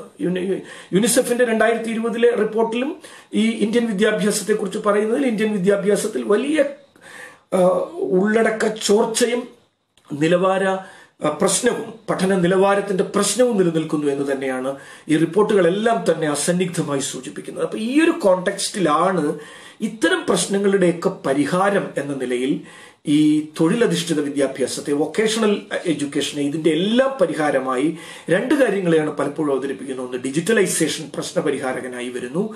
മറ്റൊന്ന് വൊക്കേഷണലൈസേഷൻ പ്രശ്ന പരിഹാരകരായി വരുന്നു. അപ്പോൾ ഈ ഒരു പരിഹാരമാണോ പിന്നെ തൊഴിൽപരമായ വിദ്യാഭ്യാസം എന്ന പരിഹാരമാണോ പരിഹാരം എന്നുള്ളത് നമുക്ക് അന്വേഷിക്കേണ്ട കാര്യമാണ്. ഞാൻ പിന്നെ എൻ എസ് ക്യു എഫിലേക്ക് വരുന്നതിന് ഒരു പ്രവേശിക എന്നുള്ള നിലയിലാണ് ഈ കാര്യങ്ങൾ സൂചിപ്പിക്കുന്നത്. ഈ നമ്മൾ പലപ്പോഴും ഈ വിദ്യാഭ്യാസത്തിലെ പലതരം മൂലധനങ്ങളെ കുറിച്ച് മാർസ് വിദ്യാഭ്യാസത്തിലെ ഫിനാൻസ് ക്യാപിറ്റലിനെ കുറിച്ച് സാമ്പത്തിക മൂലധനത്തെ കുറിച്ചുള്ള ചില നിരീക്ഷണങ്ങൾ മാർസ് നടത്തിയിട്ടുണ്ടെങ്കിലും പിൽക്കാലത്ത് പിയർ ബോർദ്യുവിനെ പോലെയുള്ള ഫ്രഞ്ച് ചിന്തകൻ പിയർ ബോർദ്യുവിനെ പോലെയുള്ള ആളുകൾ വിദ്യാഭ്യാസ പ്രക്രിയയിലെ സോഷ്യൽ ക്യാപിറ്റലിനെ കുറിച്ച് കൾച്ചറൽ ക്യാപിറ്റലിനെ കുറിച്ച് ഫിനാൻസ് ക്യാപിറ്റലിനെ ഒക്കെ വലിയ നിരീക്ഷണങ്ങൾ നടത്തിയിട്ടുണ്ട്. അപ്പൊ അതിന്റെ കൂട്ടത്തിൽ ഇപ്പോൾ നമുക്ക് വരുന്നൊരു ഒരു സംജ്ഞയാണ് ഡിജിറ്റൽ ക്യാപിറ്റൽ എന്ന് പറയുന്നത്. ലൂയിസ് വാരസ് വില്ല എന്ന് പറയുന്ന വളരെ വിഖ്യാതനായ അദ്ദേഹത്തിന്റെ ടെക്നോ ക്യാപിറ്റലിസം എന്ന് പറയുന്ന പുസ്തകത്തിലാണ് ഈ ഈ ഡിജിറ്റൽ ക്യാപിറ്റൽ. നിങ്ങൾക്ക് ഡിജിറ്റൽ ഉപകരണങ്ങളിലുള്ള ഡിജിറ്റൽ ടെക്നോളജിയിലുള്ള നിങ്ങളുടെ അറിവും നിങ്ങളുടെ അവഗാഹവും നിങ്ങൾക്ക് അത്തരം ഡിജിറ്റൽ ടെക്നോളജി പ്രാപ്യമായ അതിന്റെ ഒരു അക്സസിബിലിറ്റിയും അതിന്റെ ഒരു കുത്തകയും ഒക്കെ ചേരുന്നതിനെയാണ് ഡിജിറ്റൽ ക്യാപിറ്റൽ എന്ന് അദ്ദേഹം വിശേഷിപ്പിക്കുന്നത്. നമ്മൾ നേരത്തെ പറഞ്ഞ ഡിസാസ്റ്റർ ക്യാപിറ്റലിസം പോലെ തന്നെ. അപ്പൊ ഈ ഡിജിറ്റൽ നേരത്തെ തന്നെ നമ്മുടെ നാട്ടിൽ സോഷ്യൽ ക്യാപിറ്റലിന്റെ ഒരു വിടവ് നില ഉണ്ട്. ഒരു ഫിനാൻസ് ക്യാപിറ്റലിന്റെ വലിയ വിടവ് വിദ്യാഭ്യാസ പ്രക്രിയയിൽ നിലനിൽക്കുന്നുണ്ട്. അതുപോലെ തന്നെ ഒരു ഒരു അതിലേക്ക് കൾച്ചറൽ ക്യാപിറ്റൽ ഉണ്ട്. ഇപ്പൊ കൾച്ചറൽ ക്യാപിറ്റൽ അത്ര വിസിബിൾ അല്ല എന്ന് മാത്രം. സോഷ്യൽ ക്യാപിറ്റലും ഫിനാൻസ് ക്യാപിറ്റലിനെ പോലെ ദൃശ്യമല്ലാക്കുന്ന വിടവ് ഒരു ഒരു പിന്നെ അധ്യാപകരായിട്ടുള്ള അച്ഛനും അമ്മയും അധ്യാപകരായിട്ടുള്ള ഒരു കുട്ടിയുടെ സാംസ്കാരിക മൂലധനമല്ല ഒരു ഒരു കശുവണ്ടി തൊഴിലാളിയുടെയോ ഒരു കർഷക തൊഴിലാളിയുടെയോ ഒരു കയർ തൊഴിലാളിയുടെയോ കുടുംബത്തിൽ നിന്ന് വരുന്ന സാംസ്കാരിക മൂലധനം എന്ന് നമുക്കറിയാം. അപ്പൊ ഈ സാംസ്കാരിക മൂലധനത്തിൽ പിന്നിൽ നിൽക്കുന്ന ഈ സാമൂഹ്യ മൂലധനത്തിൽ പിന്നിൽ നിൽക്കുന്ന ഈ സാമ്പത്തിക മൂലധനത്തിന്റെ വശങ്ങളിൽ നിൽക്കുന്ന കുട്ടികളെ അടർത്തി മാറ്റി അവർക്കുള്ളൊരു വിദ്യാഭ്യാസ ക്രമം എന്ന നിലയിലാണ് പലപ്പോഴും തൊഴിലധിഷ്ഠിത വിദ്യാഭ്യാസത്തെ അവതരിപ്പിക്കുന്നതെന്ന് കാണാൻ കഴിയും. നമ്മുടെ നാട്ടിലെ തന്നെ തൊഴിലധിഷ്ഠിത വിദ്യാഭ്യാസ ക്രമത്തിലേക്ക് പ്രവേശിക്കുന്ന കുട്ടികളുടെ സാമൂഹ്യ സാംസ്കാരിക സാമ്പത്തിക മൂലധനം എന്താണെന്ന് നമുക്ക് പരിശോധിക്കാം. ഒരു അധ്യാപകനായ ഒരു അച്ഛന്റെയും അമ്മയുടെയും കുട്ടികൾ അവർക്ക് ഭാഷയുടെ എഴുത്തിന്റെ പുസ്തകങ്ങളുടെ ഒരു ലോകത്തുകൂടിയാണ് അവർ വരുന്നത്. അല്ലെങ്കിൽ ഒരു അഭിഭാഷകരായിട്ടുള്ള ഒരു അച്ഛന്റെ അമ്മയുടെ അച്ഛന്റെ അമ്മയുടെയും മക്കൾ. അവർക്ക് കിട്ടുന്ന സാംസ്കാരിക മൂലധനം എന്ന് പറഞ്ഞാൽ ആ നിയമവ്യവസ്ഥയുമായി ബന്ധപ്പെട്ട് അവരുടെ വീട്ടിൽ അതിന്റെ ചർച്ചകൾ നടക്കുന്നു. അത്തരത്തിലുള്ള ഒരു അവർ പക്ഷേ അവരുടെ വീട്ടിലെ അവർ അവരുടെ സമൂഹത്തിലെ മൂന്നാമത്തെയോ നാലാമത്തെയോ ജനറേഷൻ ലേണേഴ്സ് ആയിരിക്കാം പക്ഷെ അതല്ല നമ്മുടെ നാട്ടിലെ ഒരു കർഷക തൊഴിലാളിയുടെ കശുവണ്ടി തൊഴിലാളിയുടെ അല്ലെങ്കിൽ ഒരു ഒരു ഒരു കയർ തൊഴിലാളിയുടെ ഒരു ബീഡി തൊഴിലാളിയുടെ മറ്റ് ഇത്തരം വശങ്ങളിൽ നിൽക്കുന്ന അരികുകളിൽ നിൽക്കുന്ന മനുഷ്യരുടെ ഇവിടെ അവരെ വിജ്ഞാനത്തെ അറിവിനെ വലിയൊരു സാധ്യതയായിട്ടാണ് കാണുന്നത്. കാരണം നമ്മളൊരു വൈജ്ഞാനിക സമൂഹമാണ്. കേരളമായാലും ഇന്ത്യയായാലും. അപ്പൊ വിജ്ഞാനത്തെ കരിക്കുലത്തിൽ നിന്ന് പാഠ്യപദ്ധതിയിൽ നിന്ന് വിജ്ഞാനത്തെ അടർത്തി മാറ്റുകയും അതിനു പകരം കേവലമായ ചില നൈപുണികളെ ചില ശേഷികളെ കോമ്പിറ്റൻസിനെ സ്കില്ലിനെ പ്രതിഷ്ഠിക്കുക എന്നുള്ളതുമാണ് നൈപുണി വിദ്യാഭ്യാസ പദ്ധതിയുടെയും തൊഴിലധിഷ്ഠിത വിദ്യാഭ്യാസത്തിന്റെയും വലിയൊരു അപകടം. ഇതിനെ സത്യത്തിൽ തൊഴിലധിഷ്ഠിത വിദ്യാഭ്യാസം എന്ന് പോലും വിളിക്കാൻ ബുദ്ധിമുട്ടാണ്. പകരം നമുക്ക് ട്രേഡ് വിദ്യാഭ്യാസം എന്ന് വിളിക്കാം. ഒരു ട്രേഡ് എഡ്യൂക്കേഷൻ എന്ന് ചിലപ്പോൾ വിളിക്കേണ്ടി വരും നമുക്കതിനെ. അത്രയും റിഡക്ഷനിസ്റ്റ് അപ്രോച്ചാണ് ഈ വിദ്യാഭ്യാസ ക്രമത്തിനുള്ളത് എന്നുള്ളതാണ് ഞാൻ കാണുന്നത്. അപ്പോൾ ഇതിന്റെയൊക്കെ ഒരു ഒരു തുടർച്ച എന്നുള്ള നിലയിലാണ് എൻ എസ് ക്യു എഫ് പോലെയുള്ള നാഷണൽ സ്കിൽ ക്വാളിറ്റി ഫ്രെയിംവർക്ക് പോലെയുള്ള പദ്ധതികൾ നമ്മുടെ വിദ്യാഭ്യാസ ക്രമത്തിലേക്ക് കടന്നു വരുന്നത്. അപ്പോൾ എൻ എസ് ക്യു എഫ് എന്ന് പറയുന്നത് ഒരു തുടർച്ചയാണ് അല്ലാതെ അതൊരു തുടക്കമാണ് എന്നല്ല ഞാൻ സൂചിപ്പിക്കുന്നത്. നാഷണൽ സ്കിൽ ക്വാളിഫിക്കേഷൻ ഫ്രെയിംവർക്ക് എന്ന എൻ എസ് ക്യു എഫ് ആയാലും ഏൺ വൈ യു ലേൺ എന്ന് പറയുന്ന പദ്ധതി ആയാലും ഇതൊക്കെ തന്നെ ഒരു ഗ്ലോബലൈസ്ഡ് ആയിട്ടുള്ള രാജ്യാന്തരമായ ഒരു അജണ്ടയുടെ ഭാഗമായിട്ടാണ് നമ്മുടെ വിദ്യാഭ്യാസ ക്രമത്തിലേക്ക് കടന്നു വരുന്നത് അത് പിന്നെ നേരത്തെ പറഞ്ഞ അംബാനി ബിർള കമ്മിറ്റി റിപ്പോർട്ടിന്റെയോ അല്ലെങ്കിൽ ലോക ബാങ്കിന്റെ വിവിധ വിവിധങ്ങളായിട്ടുള്ള റിപ്പോർട്ടുകളുടെയോ ഒരു തുടർച്ചയാണ്. ഞാൻ നേരത്തെ സൂചിപ്പിച്ചതുപോലെ തന്നെ നാൽപ്പത്തി ഒൻപത് മുതൽ ലോക ബാങ്ക് ഇന്ത്യൻ വിദ്യാഭ്യാസത്തിൽ നടത്തുന്ന ഇടപെടലുകളുടെ കുറച്ചുകൂടെ ഒരു പക്ഷേ ഒരു പക്ഷേ അവസാന ഘട്ടം എന്നൊക്കെ നമുക്ക് അവസാന ഘട്ടം എന്ന് നമുക്ക് പറയാനാവുമോ? ഒരു പക്ഷേ ഇനിയും ഇത് തുടർന്നേക്കാം. അപ്പോൾ അത്തരത്തിലാണ് ഇത് കടന്നു വരുന്നത്.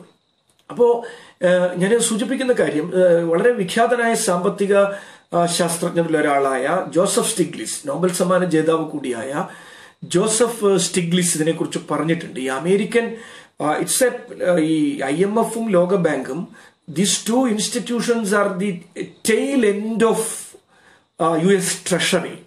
U S ട്രഷറിയുടെ ടെയിൽ ആണ് വാലറ്റമാണ് ലോക ബാങ്കും ഐ എം എഫും എന്ന് നിരീക്ഷിച്ചത്. ജോസഫ് സ്റ്റിഗ്ലിസിനെ പോലെയുള്ള ആ, ലോക ബാങ്കിന്റെ തന്നെ വൈസ് പ്രസിഡന്റ് ആയിരുന്ന സ്റ്റോഫ് ജോസഫ് സ്റ്റിഗ്ലിസ് ആണ് അപ്പോൾ ഈ ഇത് ഇത് ഇതിനെ ലോക ബാങ്കിന്റെ ഒക്കെ പല റിപ്പോർട്ടുകളും മുന്നോട്ട് വരുമ്പോൾ ആ റിപ്പോർട്ടുകളൊക്കെ തന്നെ ലോക ബാങ്കിന്റെ വിദ്യാ ലോക ബാങ്കിന്റെ പണം കടമെടുക്കൽ സത്യത്തിൽ ആ കടമെടുക്കലിലെ ഏറ്റവും പ്രധാനപ്പെട്ട ഡെറ്ററിൽ ഒന്ന് ഒരാൾ ഇന്ത്യയാണ്. ലോകത്തിലെ ഏറ്റവും വലിയ ഒരു പക്ഷേ ലോക ബാങ്കിൽ നിന്ന് കടമെടുത്തിട്ടുള്ള രാജ്യം ഇന്ത്യയാണ്. ഇതൊക്കെ തന്നെ വലിയ പലിശ നിരക്കിൽ. ഏറ്റവും അവസാനമായി ഇപ്പോൾ സ്റ്റാർസ് എന്ന് പറയുന്ന ഒരു പദ്ധതി കൂടി കടന്നു വന്നിട്ടുണ്ട്. അപ്പൊ ഈ പദ്ധതികളെല്ലാം തന്നെ വളരെ ബോധപൂർവമായ ഒരു ഇടപെടൽ എന്ന നിലയിലാണ് ഇന്ത്യൻ വിദ്യാഭ്യാസത്തിലേക്ക് മാത്രമല്ല ആഫ്രിക്കൻ വിദ്യാഭ്യാസത്തിലേക്കും ലാറ്റിൻ അമേരിക്കയിലേക്കും ഒക്കെ കടന്നു വരുന്നുണ്ട്. ഇപ്പോ ഈ സ്റ്റാർസ് പദ്ധതി തന്നെ ഇപ്പൊ ലൈബീരിയയിലും ാണ് സ്റ്റാർസ് പദ്ധതി പരീക്ഷണ അടിസ്ഥാനത്തിൽ നടപ്പിലാക്കി അതിനുശേഷമാണ് ഇന്ത്യയിൽ ആറ് സംസ്ഥാനങ്ങളിലേക്ക് കേരളം ഉൾപ്പെടെയുള്ള ആറ് സംസ്ഥാനങ്ങളിലേക്ക് അത് കടന്നു വരുന്നത്. അപ്പോൾ ഞാൻ അതിലേക്ക് ഇപ്പോൾ അത് നമ്മുടെ ചർച്ചാ വിഷയം അല്ലാത്തതുകൊണ്ട് ഞാനിപ്പോൾ അതിലേക്ക് ഒരുപാട് കിടക്കുന്നില്ല. നമുക്ക് എൻ എസ് ക്വാളിഫിക്കേഷൻ ഫ്രെയിംവർക്ക് എന്ന് പറയുന്ന എൻ എസ് ക്യൂഫിലേക്ക് വരുമ്പോൾ നമുക്കറിയാം. ഇന്നിപ്പോ നൈപുണി വിദ്യ ക്രോണി ക്യാപിറ്റലിസത്തിന്റെ വളരെ പ്രധാനപ്പെട്ട ഒരു പരസ്യ പലകയാണ്.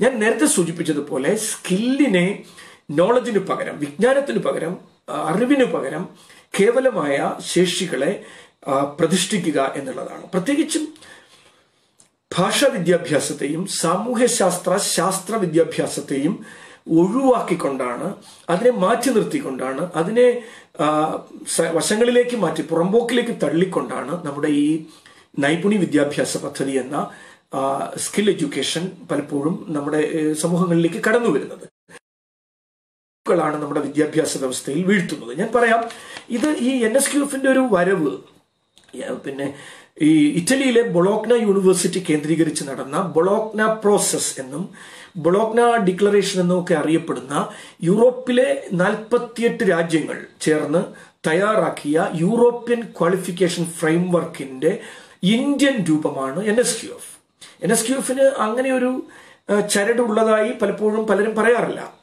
അപ്പോൾ ഇത്തരത്തിൽ ഉള്ള ഇന്റർനാഷണലായ രാജ്യാന്തരമായ സാധ്യതകളുള്ള ഒരു ഒരു യൂറോപ്യൻ ക്വാളിഫിക്കേഷൻ ഫ്രെയിംവർക്കാണ് ഇന്ത്യയിൽ എൻ എസ് ക്യു എഫ് അവതരിപ്പിക്കപ്പെട്ടത്. ഈ എൻ എസ് ക്യു എഫ് മാനവശേഷി വികസന വകുപ്പുമായി വലിയ ബന്ധമൊന്നുമില്ല. ഇത് സ്കിൽ ആൻഡ് എന്റർ എന്റർ കീഴിലുള്ള പിന്നെ കീഴിലാണ് ഇത് അവരുടെ നേതൃത്വത്തിലാണ് ഇത് തയ്യാറാക്കപ്പെട്ടിരിക്കുന്നത്. അത് തന്നെ തയ്യാറാക്കിയത് എൻ സി ആർ ടിയുടെ പിന്നെ ഭോപ്പാലിലുള്ള Pandit Sunderlal Sharma institute of vocational education എന്ന P S S I V ആണ്. ഇന്ത്യയിൽ ഉണ്ടായിരുന്ന രണ്ട് ഫ്രെയിംവർക്കുകളെ എൻ വി ക്യു എഫ് എന്ന national vocational qualification ഫ്രെയിംവർക്കിനെയും N V E Q F എന്ന നാഷണൽ എഡ്യൂക്കേഷൻ ക്വാളിഫിക്കേഷൻ ഫ്രെയിംവർക്ക് എന്ന എൻ വി ക്യു എഫും എൻ വി ഇ ക്യു എഫും ചേർന്നാണ് എൻ എസ് ക്യു എഫ് എന്ന് പറയുന്ന നാഷണൽ സ്കിൽ ക്വാളിഫിക്കേഷൻ ഫ്രെയിംവർക്ക് ഉണ്ടായിരിക്കുന്നത്. പിന്നെ ഈ N S Q F N S Q F യഥാർത്ഥത്തിൽ തൊഴിലധിഷ്ഠിത വിദ്യാഭ്യാസത്തിന് വേണ്ടിയ ഉള്ള ഒരു പദ്ധതിയല്ല. മറിച്ച് പൊതുവിദ്യാഭ്യാസത്തെ തന്നെ ഫോമൽ എഡ്യൂക്കേഷനെ തന്നെ തൊഴിലധിഷ്ഠിതമാക്കുക എന്നതാണ് എൻ എസ് ക്യൂഫ് മുന്നോട്ട് വയ്ക്കുന്ന സമീപനം. അതിൽ ലെവൽ ഒന്ന് മുതൽ ലെവൽ പത്ത് വരെയുള്ള പത്ത് ലെവലുകൾ ഒന്ന് എന്ന് പറയുന്നത് ലെവൽ ഫസ്റ്റ് എന്ന് പറയുന്നത് ഒമ്പതാം ക്ലാസ്സിൽ തുടങ്ങി. പത്താം ക്ലാസ്സിൽ ലെവൽ ടു പ്ലസ് വണ്ണിൽ ലെവൽ ത്രീ പ്ലസ് ടുവിൽ ലെവൽ ഫോർ അങ്ങനെ ഡിഗ്രി കോഴ്സുകളിലേക്ക് പോയി. ഗവേഷണ പഠനത്തിന്റെ അവസാനം ലെവൽ അവസാനിക്കുന്ന രൂപത്തിലാണ് ഈ ലെവലുകളുള്ളത് ഇതിൽ എൻട്രി മൾട്ടിപ്പിൾ ഓപ്ഷൻ ഉണ്ട്. ഏത് സമയത്തും കുട്ടിക്ക് കടന്നു വരാം. ഏത് സമയത്തും ഈ ക്രമത്തിൽ നിന്ന് കുട്ടിക്ക് പോവാം. ഇത് ഇന്ത്യയിൽ ഇത് അവതരിപ്പിക്കപ്പെട്ടപ്പോൾ ഈ ലോക ബാങ്ക് ഈ പറയുന്ന ലോക ബാങ്കിന്റെ നേതൃത്വത്തിൽ യൂറോപ്യൻ രാജ്യ യൂണിയനിലെ രാജ്യങ്ങൾ ചേർന്ന് തയ്യാറാക്കിയ ഈ തയ്യാറാക്കിയ യൂറോപ്യൻ ക്വാളിഫിക്കേഷൻ ഫ്രെയിംവർക്ക് ഇന്ത്യയിലേക്ക് എൻ എസ് ക്യു എഫ് ആയി അവതരിപ്പിക്കപ്പെട്ടപ്പോൾ എന്തുകൊണ്ടാണ് ലോകത്തെ രാജ്യങ്ങൾ ഈ എൻ എസ് ക്യു എഫിലേക്ക് വന്നതെന്ന് പറഞ്ഞാൽ കോടിക്കണക്കിന് രൂപയുടെ വിദേശ ഫണ്ടാണ് എൻ എസ് ക്യു എഫ് ഈ എൻ എസ് ക്യു എഫിലേക്ക് ചേരുന്ന നാഷണൽ ഈ യൂറോപ്യൻ ഫ്രെയിംവർക്കിലേക്ക് ചേർന്ന രാജ്യങ്ങൾക്ക് നൽകുന്നത്. അതുകൊണ്ടാണ് യൂറോപ്യൻ ക്വാളിഫിക്കേഷൻ ഫ്രെയിംവർക്കിന്റെ ഒരു ഇന്ത്യൻ രൂപമായി എൻ എസ് ക്യു എഫ് വരുന്നത്. എൻ എസ് ക്യു എഫിനെ സംബന്ധിച്ചിടത്തോളം അതിനകത്ത് സ്ഥിരം അധ്യാപക നിയമനങ്ങളില്ല. സ്ഥിരം വ്യവസ്ഥയില്ല. സ്ഥിരം കരിക്കുലമില്ല. അതിനൊരു കരിക്കുലമില്ല അതിനൊരു സിലബസ് ഇല്ല മാറിക്കൊണ്ടിരിക്കുന്ന ഒന്നാണ്. മോഡുലാർ സ്കീമാണ് മോഡ്യൂളുകളാണ് എൻ എസ് ക്യു എഫ് അവതരിപ്പിക്കുന്നത്. അപ്പോൾ ആ ഒരു മോഡ്യൂളുകളാക്കി വിദ്യാഭ്യാസ വ്യവസ്ഥയെ മാറ്റുക സെമസ്റ്ററൈസേഷന്റെ മറ്റൊരു രൂപമാണ് നമുക്ക് ഈ എൻ എസ് ക്യു എഫിൽ നമ്മൾ കാണുന്നത്. അപ്പോ ഈ ഈ ഒരു ഒരു പിന്നെ എൻ എസ് ക്യു എഫ് നമ്മുടെ വിദ്യാഭ്യാസ പദ്ധതിയിലേക്ക് കടന്നു വരുമ്പോൾ ഗവൺമെന്റ് രണ്ട് കൈ നീട്ടി അത് സ്വീകരിക്കുന്നതിന്റെ ഏറ്റവും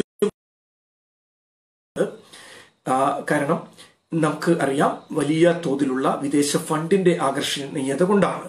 സത്യത്തിൽ കേരളത്തിലെ തൊഴിലധിഷ്ഠ വിദ്യ കേരളത്തിലെ വൊക്കേഷണൽ ഹയർ സെക്കൻഡറി സ്കൂളുകളിലേക്ക് അത് വരാൻ പോവുകയാണ്. എൻ എസ് ക്യു എഫ് ഈ വർഷം മുതൽ വരാൻ പോവുകയാണ്. പുതിയ അക്കാദമിക് വർഷം മുതൽ പുതിയ തുടങ്ങുന്ന അക്കാദമിക് വർഷം മുതൽ ആരംഭിക്കാൻ പോകുന്ന അക്കാദമിക് വർഷ ആരംഭം മുതൽ. സത്യത്തിൽ ഐ ടി ഐകളിൽ എൻ എസ് ക്യു എഫ് വന്നു കഴിഞ്ഞു. നമ്മുടെ ഇനി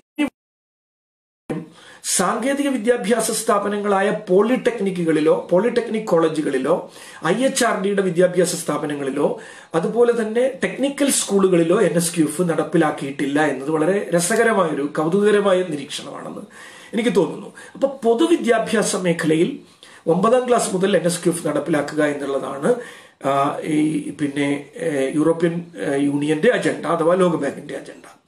അപ്പോൾ അവിടെയാണ് നമ്മുടെ നാട്ടിലെ ഒരു ഇടതുപക്ഷ ഗവൺമെന്റ് എൻ എസ് ക്യു എഫിന് കടന്നു വരാൻ വേണ്ടി റെഡ് കാർഡ് കൊടുക്കുന്നത്. അപ്പോ കേന്ദ്രത്തിൽ നിന്ന് അല്ലെങ്കിൽ യൂറോപ്യൻ യൂണിയനിൽ നിന്ന് ലഭിക്കുന്ന ഫണ്ട് തന്നെയാണ് അതിന്റെ ആകർഷണീയത നമുക്ക് അറിയാൻ കഴിയും.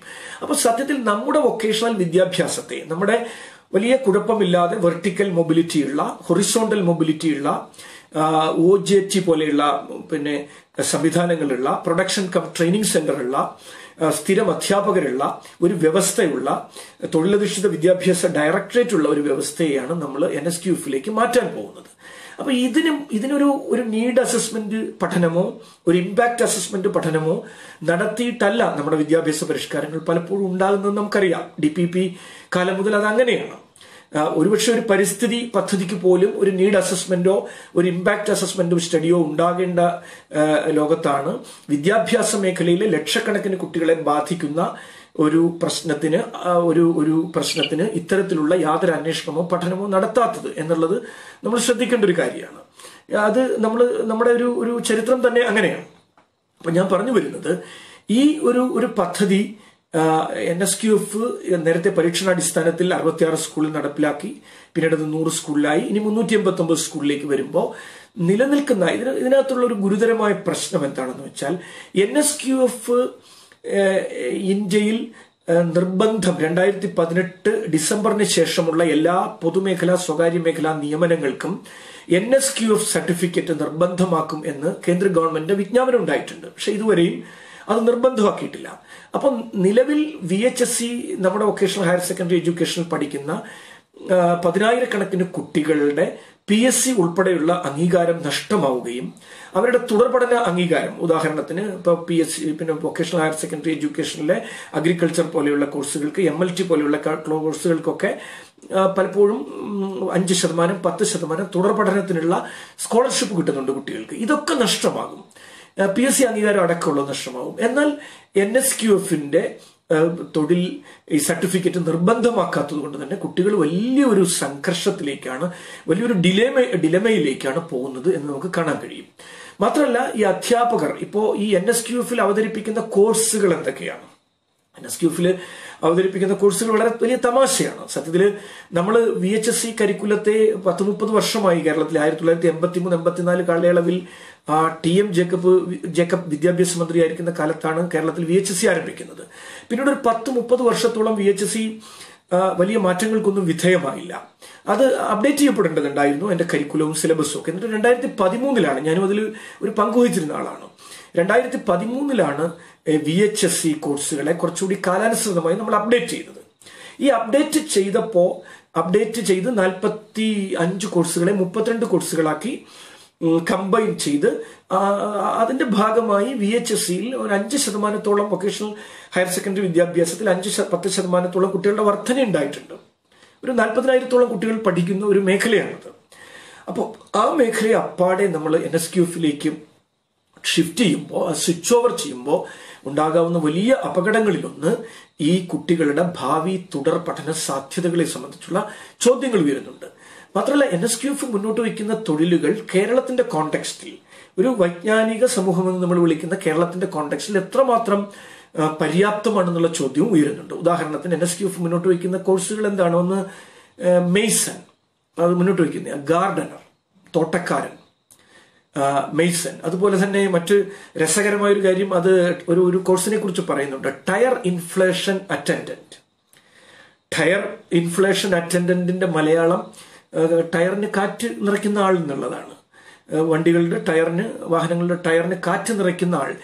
ഇത്തരം കോഴ്സുകളാണ് സെക്യൂരിറ്റി സെക്യൂരിറ്റി എന്ന് പറയുമ്പോൾ തെറ്റിദ്ധരിക്കേണ്ട നമ്മുടെ സ്ഥാപനങ്ങൾക്ക് വ്യവസായ സ്ഥാപനങ്ങൾക്കും പിന്നെ പിന്നെ സ്വർണക്കടകൾക്കൊക്കെയുള്ള സെക്യൂരിറ്റി അപ്പൊ ഇത്തരത്തിലുള്ള കോഴ്സുകൾ ഉള്ള എൻ എസ് ക്യു എഫ് ആണ് കേരളം പോലെയുള്ള ഒരു വൈജ്ഞാനിക സമൂഹത്തിൽ അവതരിപ്പിക്കുന്നത് എന്നുള്ളത് വലിയൊരു ദുരന്തമാണ്. കേരളത്തിലെ തൊഴിലധിഷ്ഠിത വിദ്യാഭ്യാസത്തെ സംബന്ധിച്ചിടത്തോളം വലിയൊരു ദുരന്തമായി അത് മാറും എന്നുള്ളത് സംശയമില്ല.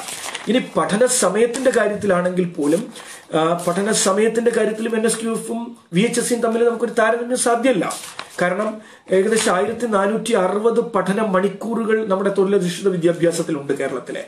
അതേസമയം ഏതാണ്ട് അറുന്നൂറ് പഠന മണിക്കൂറുകൾ മാത്രമാണ് ഈ എൻ എസ് ക്യു എഫ് മുന്നോട്ട് വെക്കുന്നത് അപ്പോ പൂർണമായും മാറി വരുന്ന തൊഴിൽ കാലാവസ്ഥയ്ക്ക് അനുസൃതമായ ഞാൻ നേരത്തെ ഡ്യൂയി സൂചിപ്പിച്ച ജോൺ ഡ്യൂയൊക്കെ സൂചിപ്പിച്ച ട്രേഡ് കൾച്ചറിനെ ഒരു പോസ്റ്റ് ഗ്ലോബലൈസ്ഡ് കാലഘട്ടത്തിലെ കോൺട്രാക്ട് ഗസ്റ്റ് അധ്യാപക നിയമനങ്ങൾ മുന്നോട്ട് വെച്ചുകൊണ്ട് സെക്ടർ സ്കിൽ കൗൺസിലുകളെ സെക്ടർ സ്കിൽ കൗൺസിലുകൾ എന്ന് പറയുന്നത് കോർപ്പറേറ്റുകൾക്ക് വലിയ റോളുകളുള്ളതാണ് ഈ ഈ പിന്നെ എൻ എസ് ക്യൂഫിനെ നിയന്ത്രിക്കുന്ന എൻ എസ് ഡി സി എന്ന് പറയുന്ന പിന്നെ ഏജൻസി തന്നെ അമ്പത്തിയൊന്ന് ശതമാനത്തോളം പ്രൈവറ്റ് പബ്ലിക് പാർട്ണർഷിപ്പ് അമ്പത്തൊന്ന് ശതമാനം തന്നെ ഒരു പി പി പി ആ സെക് അത്തരത്തിലുള്ള പ്രൈവറ്റ് എന്റർപ്രണേഴ്സ് നിയന്ത്രിക്കുന്ന സെക്ടർ സ്കിൽ കൗൺസിലുകളാണ് ഇതിന് സർട്ടിഫിക്കറ്റ് നൽകുന്നത്. അപ്പൊ കേരളത്തിലാണെങ്കിൽ അത്തരത്തിലുള്ള സെക്ടർ സ്കിൽ കൗൺസിലുകൾ ഇല്ല എന്ന് നമ്മൾ ആലോചിക്കണം. അപ്പോൾ അങ്ങനെ വരുമ്പോൾ ഇത് ഇത് ഈ ഒരു തൊഴിലധിഷ്ഠിത വിദ്യാഭ്യാസത്തിന്റെ കേരളത്തിലെ ഞാൻ വൊക്കേഷണൽ ഹയർ സെക്കൻഡറി എഡ്യൂക്കേഷനെ കുറിച്ച് മാത്രമല്ല പറയുന്നത് പൊതുവായ തൊഴിലധിഷ്ഠിത വിദ്യാഭ്യാസത്തിന്റെ ചരമക്കുറിപ്പ് എഴുതും എന്നുള്ള കാര്യത്തിൽ യാതൊരു സംശയവുമില്ല. അതുപോലെ തന്നെ ഇപ്പോ ഇതിന്റെ ഒരു ഒരു തുടർച്ചയെന്ന നിലയിലാണ് ഇപ്പൊ അസാപ്പ് പോലെയുള്ള അഡീഷണൽ സ്കിൽ അക്വിസിഷൻ പ്രോഗ്രാം പോലെയുള്ള പ്രോഗ്രാമുകൾ എ ഡി ബിയുടെ പ്രോഗ്രാമുകൾ ഒക്കെ തന്നെ ഇത്തരത്തിൽ ഞാൻ നേരത്തെ സൂചിപ്പിച്ചതുപോലെ സാമൂഹ്യശാസ്ത്ര വിഷയങ്ങളെ ചരിത്രത്തെയും രാഷ്ട്രമീമാംസയെയും സാമ്പത്തിക ശാസ്ത്രത്തെയും ഒക്കെ തന്നെ വശങ്ങളിലേക്ക് തള്ളിക്കൊണ്ട് നൈപുണി ആണ് പുതിയ കാലഘട്ടത്തിന് ആവശ്യമെന്നും കോമ്പിറ്റൻസ് ആണ് കേവലമായ ശേഷികളാണ് ആവശ്യമെന്നും അറിവ് എന്നത് വിജ്ഞാനം എന്നത് ആവശ്യമില്ല എന്നും വിജ്ഞാനം എന്നത് ഒരു വലിയ പ്രതിരോധത്തിന്റെയും പ്രതിഷേധത്തിന്റെയും ഉപകരണമായി മാറുമെന്നും എന്നുള്ള ചിന്തയുടെ കോണ്ടക്സ്റ്റിലാണ് ഇതൊക്കെ അവതരിപ്പിച്ചിരിക്കുന്നത്. ഞാൻ നേരത്തെ സൂചിപ്പിച്ച ആയിരത്തി നാനൂറ്റി അറുപത് പഠന മണിക്കൂറുകൾക്ക് പകരം വെറും അറുന്നൂറ് പഠന മണിക്കൂറുകൾ അത് അതിലൊരു ക്ലാരിഫിക്കേഷൻ പറഞ്ഞതാണ്. അപ്പോൾ നമുക്ക് സത്യത്തിൽ ഇവിടെ ചെയ്യാമായിരുന്ന ഒരു കാര്യം ഉണ്ടായിരുന്നു. നമ്മുടെ വൊക്കേഷണൽ ഹയർ സെക്കൻഡറി എഡ്യൂക്കേഷനെ വേണമെങ്കിൽ ആ എഡ്യൂക്കേഷനെ തന്നെ നിലനിർത്തിക്കൊണ്ട് നമുക്ക് ഈ കോഴ്സുകളെ കുറച്ചുകൂടി കാലികവും കുറച്ചുകൂടി തൊഴിലധിഷ്ഠിതമായ സാധ്യതകൾ അതിന്റെ ഒരു ഞാൻ നേരത്തെ സൂചിപ്പിച്ച അതിന്റെ അതിന്റെ പടകോജിക്കലായ ഒരു ബോധനശാസ്ത്രപരമായ പിന്നെ അതുപോലെ തന്നെ തൊഴിലിനെ കേവലമായ തൊഴിൽ എന്നുള്ളതിൽ നിന്ന് അടർത്തി മാറ്റി അന്യവൽക്കരിച്ച് തൊഴിലിൽ നിന്ന് തൊഴിലാളിയെ അന്യവൽക്കരിക്കുന്നത് പോലെയാണ് ക്രമത്തിൽ നിന്ന് നമ്മളൊരു ഒരു പെഡഗോജിയെ അല്ലെങ്കിൽ ഒരു ബോധനശാസ്ത്രത്തെ മാറ്റി നിർത്തുന്നതും. പലപ്പോഴും വൊക്കേഷണൽ ഭാഷയെയും ശാസ്ത്രത്തെയും ഒക്കെ കേരള കേരളത്തിലെ തൊഴിലധിഷ്ഠിത വിദ്യാഭ്യാസത്തിലെ ചിലയിടങ്ങളിൽ അവർക്ക് പിന്നെ അവർക്ക് ഫിസിക്സ് പഠിക്കണം കെമിസ്ട്രി പഠിക്കണം ബയോളജി പഠിക്കണം. ചരിത്രം പോലും പഠിക്കേണ്ടതുണ്ട്. അങ്ങനെ ഒരു പ്രത്യേകത ഉള്ള തൊഴിലധിഷ്ഠിത വിദ്യാഭ്യാസത്തെയാണ് ഈ മോഡുലാർ സ്കീമിലേക്ക് കേവലമായ ഒരു ഒരു മോഡുലാർ സ്കീമിലേക്ക് മാറ്റുന്നത്. ഞാൻ നേരത്തെ സൂചിപ്പിച്ച പന്ത്രണ്ട് രണ്ടായിരത്തി പതിനെട്ടിന് മുമ്പ് ഇന്ത്യയിലെ എല്ലാ കോഴ്സുകളും നിർബന്ധമായും എൻ എസ് ക്യു എഫിലേക്ക് മാറണമെന്ന് സ്കിൽ മിനിസ്ട്രി പലതവണ ആവശ്യപ്പെട്ടിട്ടും ഇന്ത്യയിലെ സംസ്ഥാനങ്ങൾ അതിൽ ചേരാൻ തയ്യാറായിട്ടില്ല. ബീഹാർ രണ്ടായിരത്തി പതിനെട്ടിന് ശേഷമാണ് വരുന്നത് ഗുജറാത്ത് ചേർന്നില്ല. ഗുജറാത്ത് രണ്ടായിരത്തി പതിനെട്ടിന് ശേഷമാണ് വരുന്നത് അതുപോലെ തമിഴ്നാട് അടക്കമുള്ള സംസ്ഥാനങ്ങൾ. ഓർക്കേണ്ട കാര്യം ഇന്ത്യയിലെ കേരളത്തിലേക്ക് പത്രമാധ്യമങ്ങൾ മീഡിയ അടക്കം പറയുന്നത് എൻ എസ് ക്യു എഫ് കിട്ടാത്തത് കൊണ്ട് കേരളത്തിലെ വിദ്യാഭ്യാസ സമ്പ്രദായത്തിന് എന്തോ വലിയ അപകടം സംഭവിച്ചു എന്ന മട്ടിൽ അവർ പറയുന്നുണ്ട്. അത് വസ്തുതാപരമല്ല. കാരണം ഒന്ന് N S Q F N S Q F പിന്നെ എൻ എസ് ക്യു എഫിൽ ഇന്ത്യയിലെ സംസ്ഥാനങ്ങൾ എൻ എസ് ക്യു എഫിന്റെ നമ്മൾ ആ സംസ്ഥാനങ്ങൾ ചേർന്ന് എത്ര സംസ്ഥാനങ്ങൾ എൻ എസ് ക്യു എഫിന്റെ ഭാഗമായിട്ടുണ്ടെന്ന് പരിശോധിച്ചാൽ ആ സംസ്ഥാനങ്ങളിലെ ഒന്നോ രണ്ടോ ശതമാനം വിദ്യാർത്ഥികൾ സ്കൂളുകൾ മാത്രമാണ് നാഷണൽ ക്വാളിഫിക്കേഷൻസ് ഫ്രെയിംവർക്കിലേക്ക് സ്കിൽ ക്വാളിഫിക്കേഷൻ ഫ്രെയിംവർക്കിലേക്ക് വന്നിട്ടുള്ളൂ എന്ന് കാണാൻ പറ്റും. അപ്പൊ അതിന്റെ ഡോക്യുമെന്റ്സ് ഉണ്ട്. ഒട്ടുമിക്ക സംസ്ഥാനങ്ങളിലും രണ്ട് ശതമാനം മാക്സിമം മൂന്ന് ശതമാനം കുട്ടികൾ മാത്രമേ എൻ എസ് ക്യു എഫിലേക്ക് വന്നിട്ടുള്ളൂ. പൊതുവിദ്യാഭ്യാസ ക്രമത്തിലെ കുട്ടികളുടെ കാര്യമാണ് ഞാൻ സൂചിപ്പിക്കുന്നത്. അപ്പോൾ എൻ എസ് ക്യു എഫിലേക്ക് എല്ലാവരും എത്തിക്കഴിഞ്ഞു. കേരളം മാത്രം മാറി നിൽക്കാൻ പാടില്ല എന്ന നിലയിലാണ് നമ്മുടെ പത്രമാധ്യമങ്ങൾ അടക്കം എൻ എസ് ക്യു എഫിലേക്ക് വരാത്തതിനെ കുറിച്ച് പറയുന്നത്. അപ്പോൾ അവിടെ ഒരു കാര്യം എൻ എസ് ക്യു എഫിന്റെ ഒരു ഡോക്യു പറയുന്നു it shall be mandatory for all training educational programmes courses to be Q F oriented all training and educational institutions shall define eligibility criteria for admission to various courses in terms of NSQF. എന്ന് N S Q F പറയുമ്പോഴും N S Q F ആരംഭിച്ചതിന് ശേഷം അഞ്ചു വർഷം പൂർത്തിയാക്കപ്പെടുമ്പോഴും നമ്മുടെ കോഴ്സുകളും പിന്നെ സർട്ടിഫിക്കറ്റുകളും N S Q എഫിലേക്ക് മാറ്റപ്പെട്ടിട്ടില്ല അപ്പൊ ഇത് മാറ്റപ്പെടാ പെടണം എന്ന ഒരു താല്പര്യം അവർക്ക് ഉണ്ടാവും ഇല്ലെന്ന് ഞാൻ മനസ്സിലാക്കുന്നു. കാരണം ഈ ഈ പറയുന്ന തൊഴിലധിഷ്ഠിത വിദ്യാഭ്യാസം തൊഴിൽ പോലും കുട്ടികൾക്ക് നൽകാനുള്ള ഒന്നല്ലല്ലോ.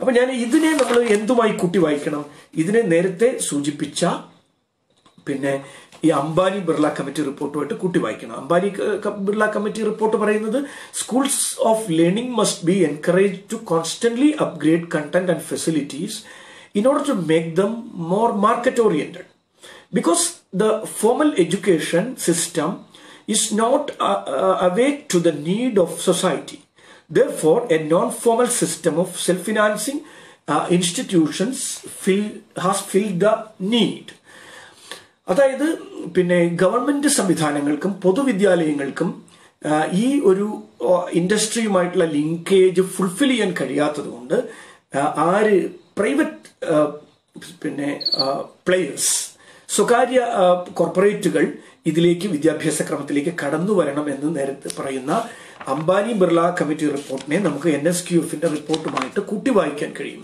കൂട്ടി വായിക്കുമ്പോൾ ഇത് രണ്ടും ഇരട്ട പെറ്റതല്ല സയാമീസ് ഇരട്ടകളാണ് പിന്നെ എന്ന് നമുക്ക് കാണാൻ കഴിയും. ഇത് രണ്ടും സമജാത ഇരട്ടകളാണ് നമുക്ക് കാണാൻ കഴിയും. അപ്പൊ ഇത് ഈ ഇത്തരം ഫ്രെയിം വർക്കുകളും ഒക്കെ അന്തർദേശീയമായി വരുന്നത് ഇന്ത്യൻ വിദ്യാഭ്യാസത്തിലേക്ക് കടന്നു വരുന്നത്. നമ്മൾ ശ്രദ്ധിക്കേണ്ട ഒരു കാര്യം ഈ ലോകബാങ്ക് പദ്ധതികളും ഇത്തരം ഐ എം എഫ് ലോകബാങ്ക് ഓറിയന്റഡ് ആയിട്ടുള്ള പദ്ധതികളൊന്നും ഫിൻലൻഡ് എഡ്യൂക്കേഷനിലേക്ക് പോകുന്നില്ല. അല്ലെങ്കിൽ സ്വീഡനിലേക്കോ നോർഡിക് റിപ്പബ്ലിക്കുകൾ നമ്മൾ വിദ്യാഭ്യാസത്തിന്റെ വലിയ മാതൃകയായി പറയുന്ന ഫിൻലൻഡിലേക്കോ പിന്നെ സ്വീഡനിലേക്കോ നോർവേയിലേക്കോ ഡെൻമാർക്കിലേക്കോ ന്യൂസിലൻഡിലേക്കോ പോകുന്നില്ല. അല്ലെങ്കിൽ ഏഷ്യയിൽ തന്നെ നമുക്ക് വിദ്യാഭ്യാസത്തിൽ പിസ സ്റ്റഡിയിലൊക്കെ പിസ പഠനത്തിലൊക്കെ പിന്നെ programme for international student assessment എന്ന പിസയിലൊക്കെ മുന്നിൽ നിൽക്കുന്ന ഏഷ്യൻ രാജ്യങ്ങളായിട്ടുള്ള സൗത്ത് കൊറിയയിലേക്കോ സിംഗപ്പൂരിലേക്കോ തായ്വാനിലേക്കോ വിയറ്റ്നാമിലേക്കോ ഇതൊന്നും പോകുന്നില്ല. മറിച്ച് ഇതൊക്കെ വരുന്നത് ഇന്ത്യയിലേക്കോ പാകിസ്ഥാനിലേക്കോ ബംഗ്ലാദേശിലേക്കോ ഈവൻ ശ്രീലങ്കയിലേക്ക് പോലും എത്തുന്നില്ല. അല്ലെങ്കിൽ ആഫ്രിക്കൻ രാജ്യങ്ങളായിട്ടുള്ള റുവാണ്ടയിലേക്കോ നൈജീരിയയിലേക്കോ സൊമാലിയ പോലെയുള്ള രാജ്യങ്ങളിലേക്കൊക്കെ എത്തുന്നു എന്ന് പറയുമ്പോൾ നമ്മൾ നേരത്തെ ജോൺ ഡ്യൂയിയും പിയർ ബോർദ്യുവും ലൂയിസ് വാരസ് വില്ലയും അൽത്തൂസറും ഫൂക്കോയും ഒക്കെ സൂചിപ്പിച്ച ഈ ഒരു ഒരു വലിയ ഗൂഢമായ വിദ്യാഭ്യാസ എന്ന പേരിട്ട് വിളിക്കുന്ന ഒരു പദ്ധതിയുടെ പിന്നെ കാണാച്ചരടുകൾ അഥവാ അതിന്റെ നീരാളിക്കൈകൾ നമുക്കിതിൽ കാണാൻ കഴിയും. അതിന്റെ മറ്റൊരു ഒരു ഒരു യൂണിവേഴ്സിറ്റി തല കോളേജ് തല വേർഷനാണ് ഏൺ വൈ യു ലേൺ എന്ന് പറയുന്ന പദ്ധതി. നമുക്കറിയാം വിദ്യാഭ്യാസ വിദ്യാഭ്യാസത്തെ പൊതുവിദ്യാഭ്യാസത്തെ തന്നെ തൊഴിലിനോട് ലിങ്ക് ചെയ്യാനുള്ള ഒരു തന്ത്രമാണ് ആയിട്ടാണ് അത് വന്നിരിക്കുന്നത്. അത് അത് സത്യത്തിൽ കേരളത്തിലെ പൊതുവിദ്യാഭ്യാസത്തിൽ ഒൻപതാം ക്ലാസ് മുതൽ നടപ്പിലാക്കേണ്ടിയിരുന്നത് കേരളത്തിലെ ഇടതുപക്ഷ ഗവൺമെന്റ് നടപ്പിലാക്കിയിട്ടില്ല. അത് വളരെ പോസിറ്റീവായ ഒരു കാര്യമായിട്ടാണ് ഞാൻ അതിനെ കാണുന്നത്. എന്തായാലും ഒമ്പതാം ക്ലാസ് മുതൽ നടപ്പിലാക്കാൻ തയ്യാറായിട്ടില്ല. പക്ഷേ ബി വോ കോഴ്സുകൾ എന്ന നിലയിൽ കോളേജ് തലത്തിൽ യൂണിവേഴ്സിറ്റി തലത്തിൽ അത് വന്നു കഴിഞ്ഞു.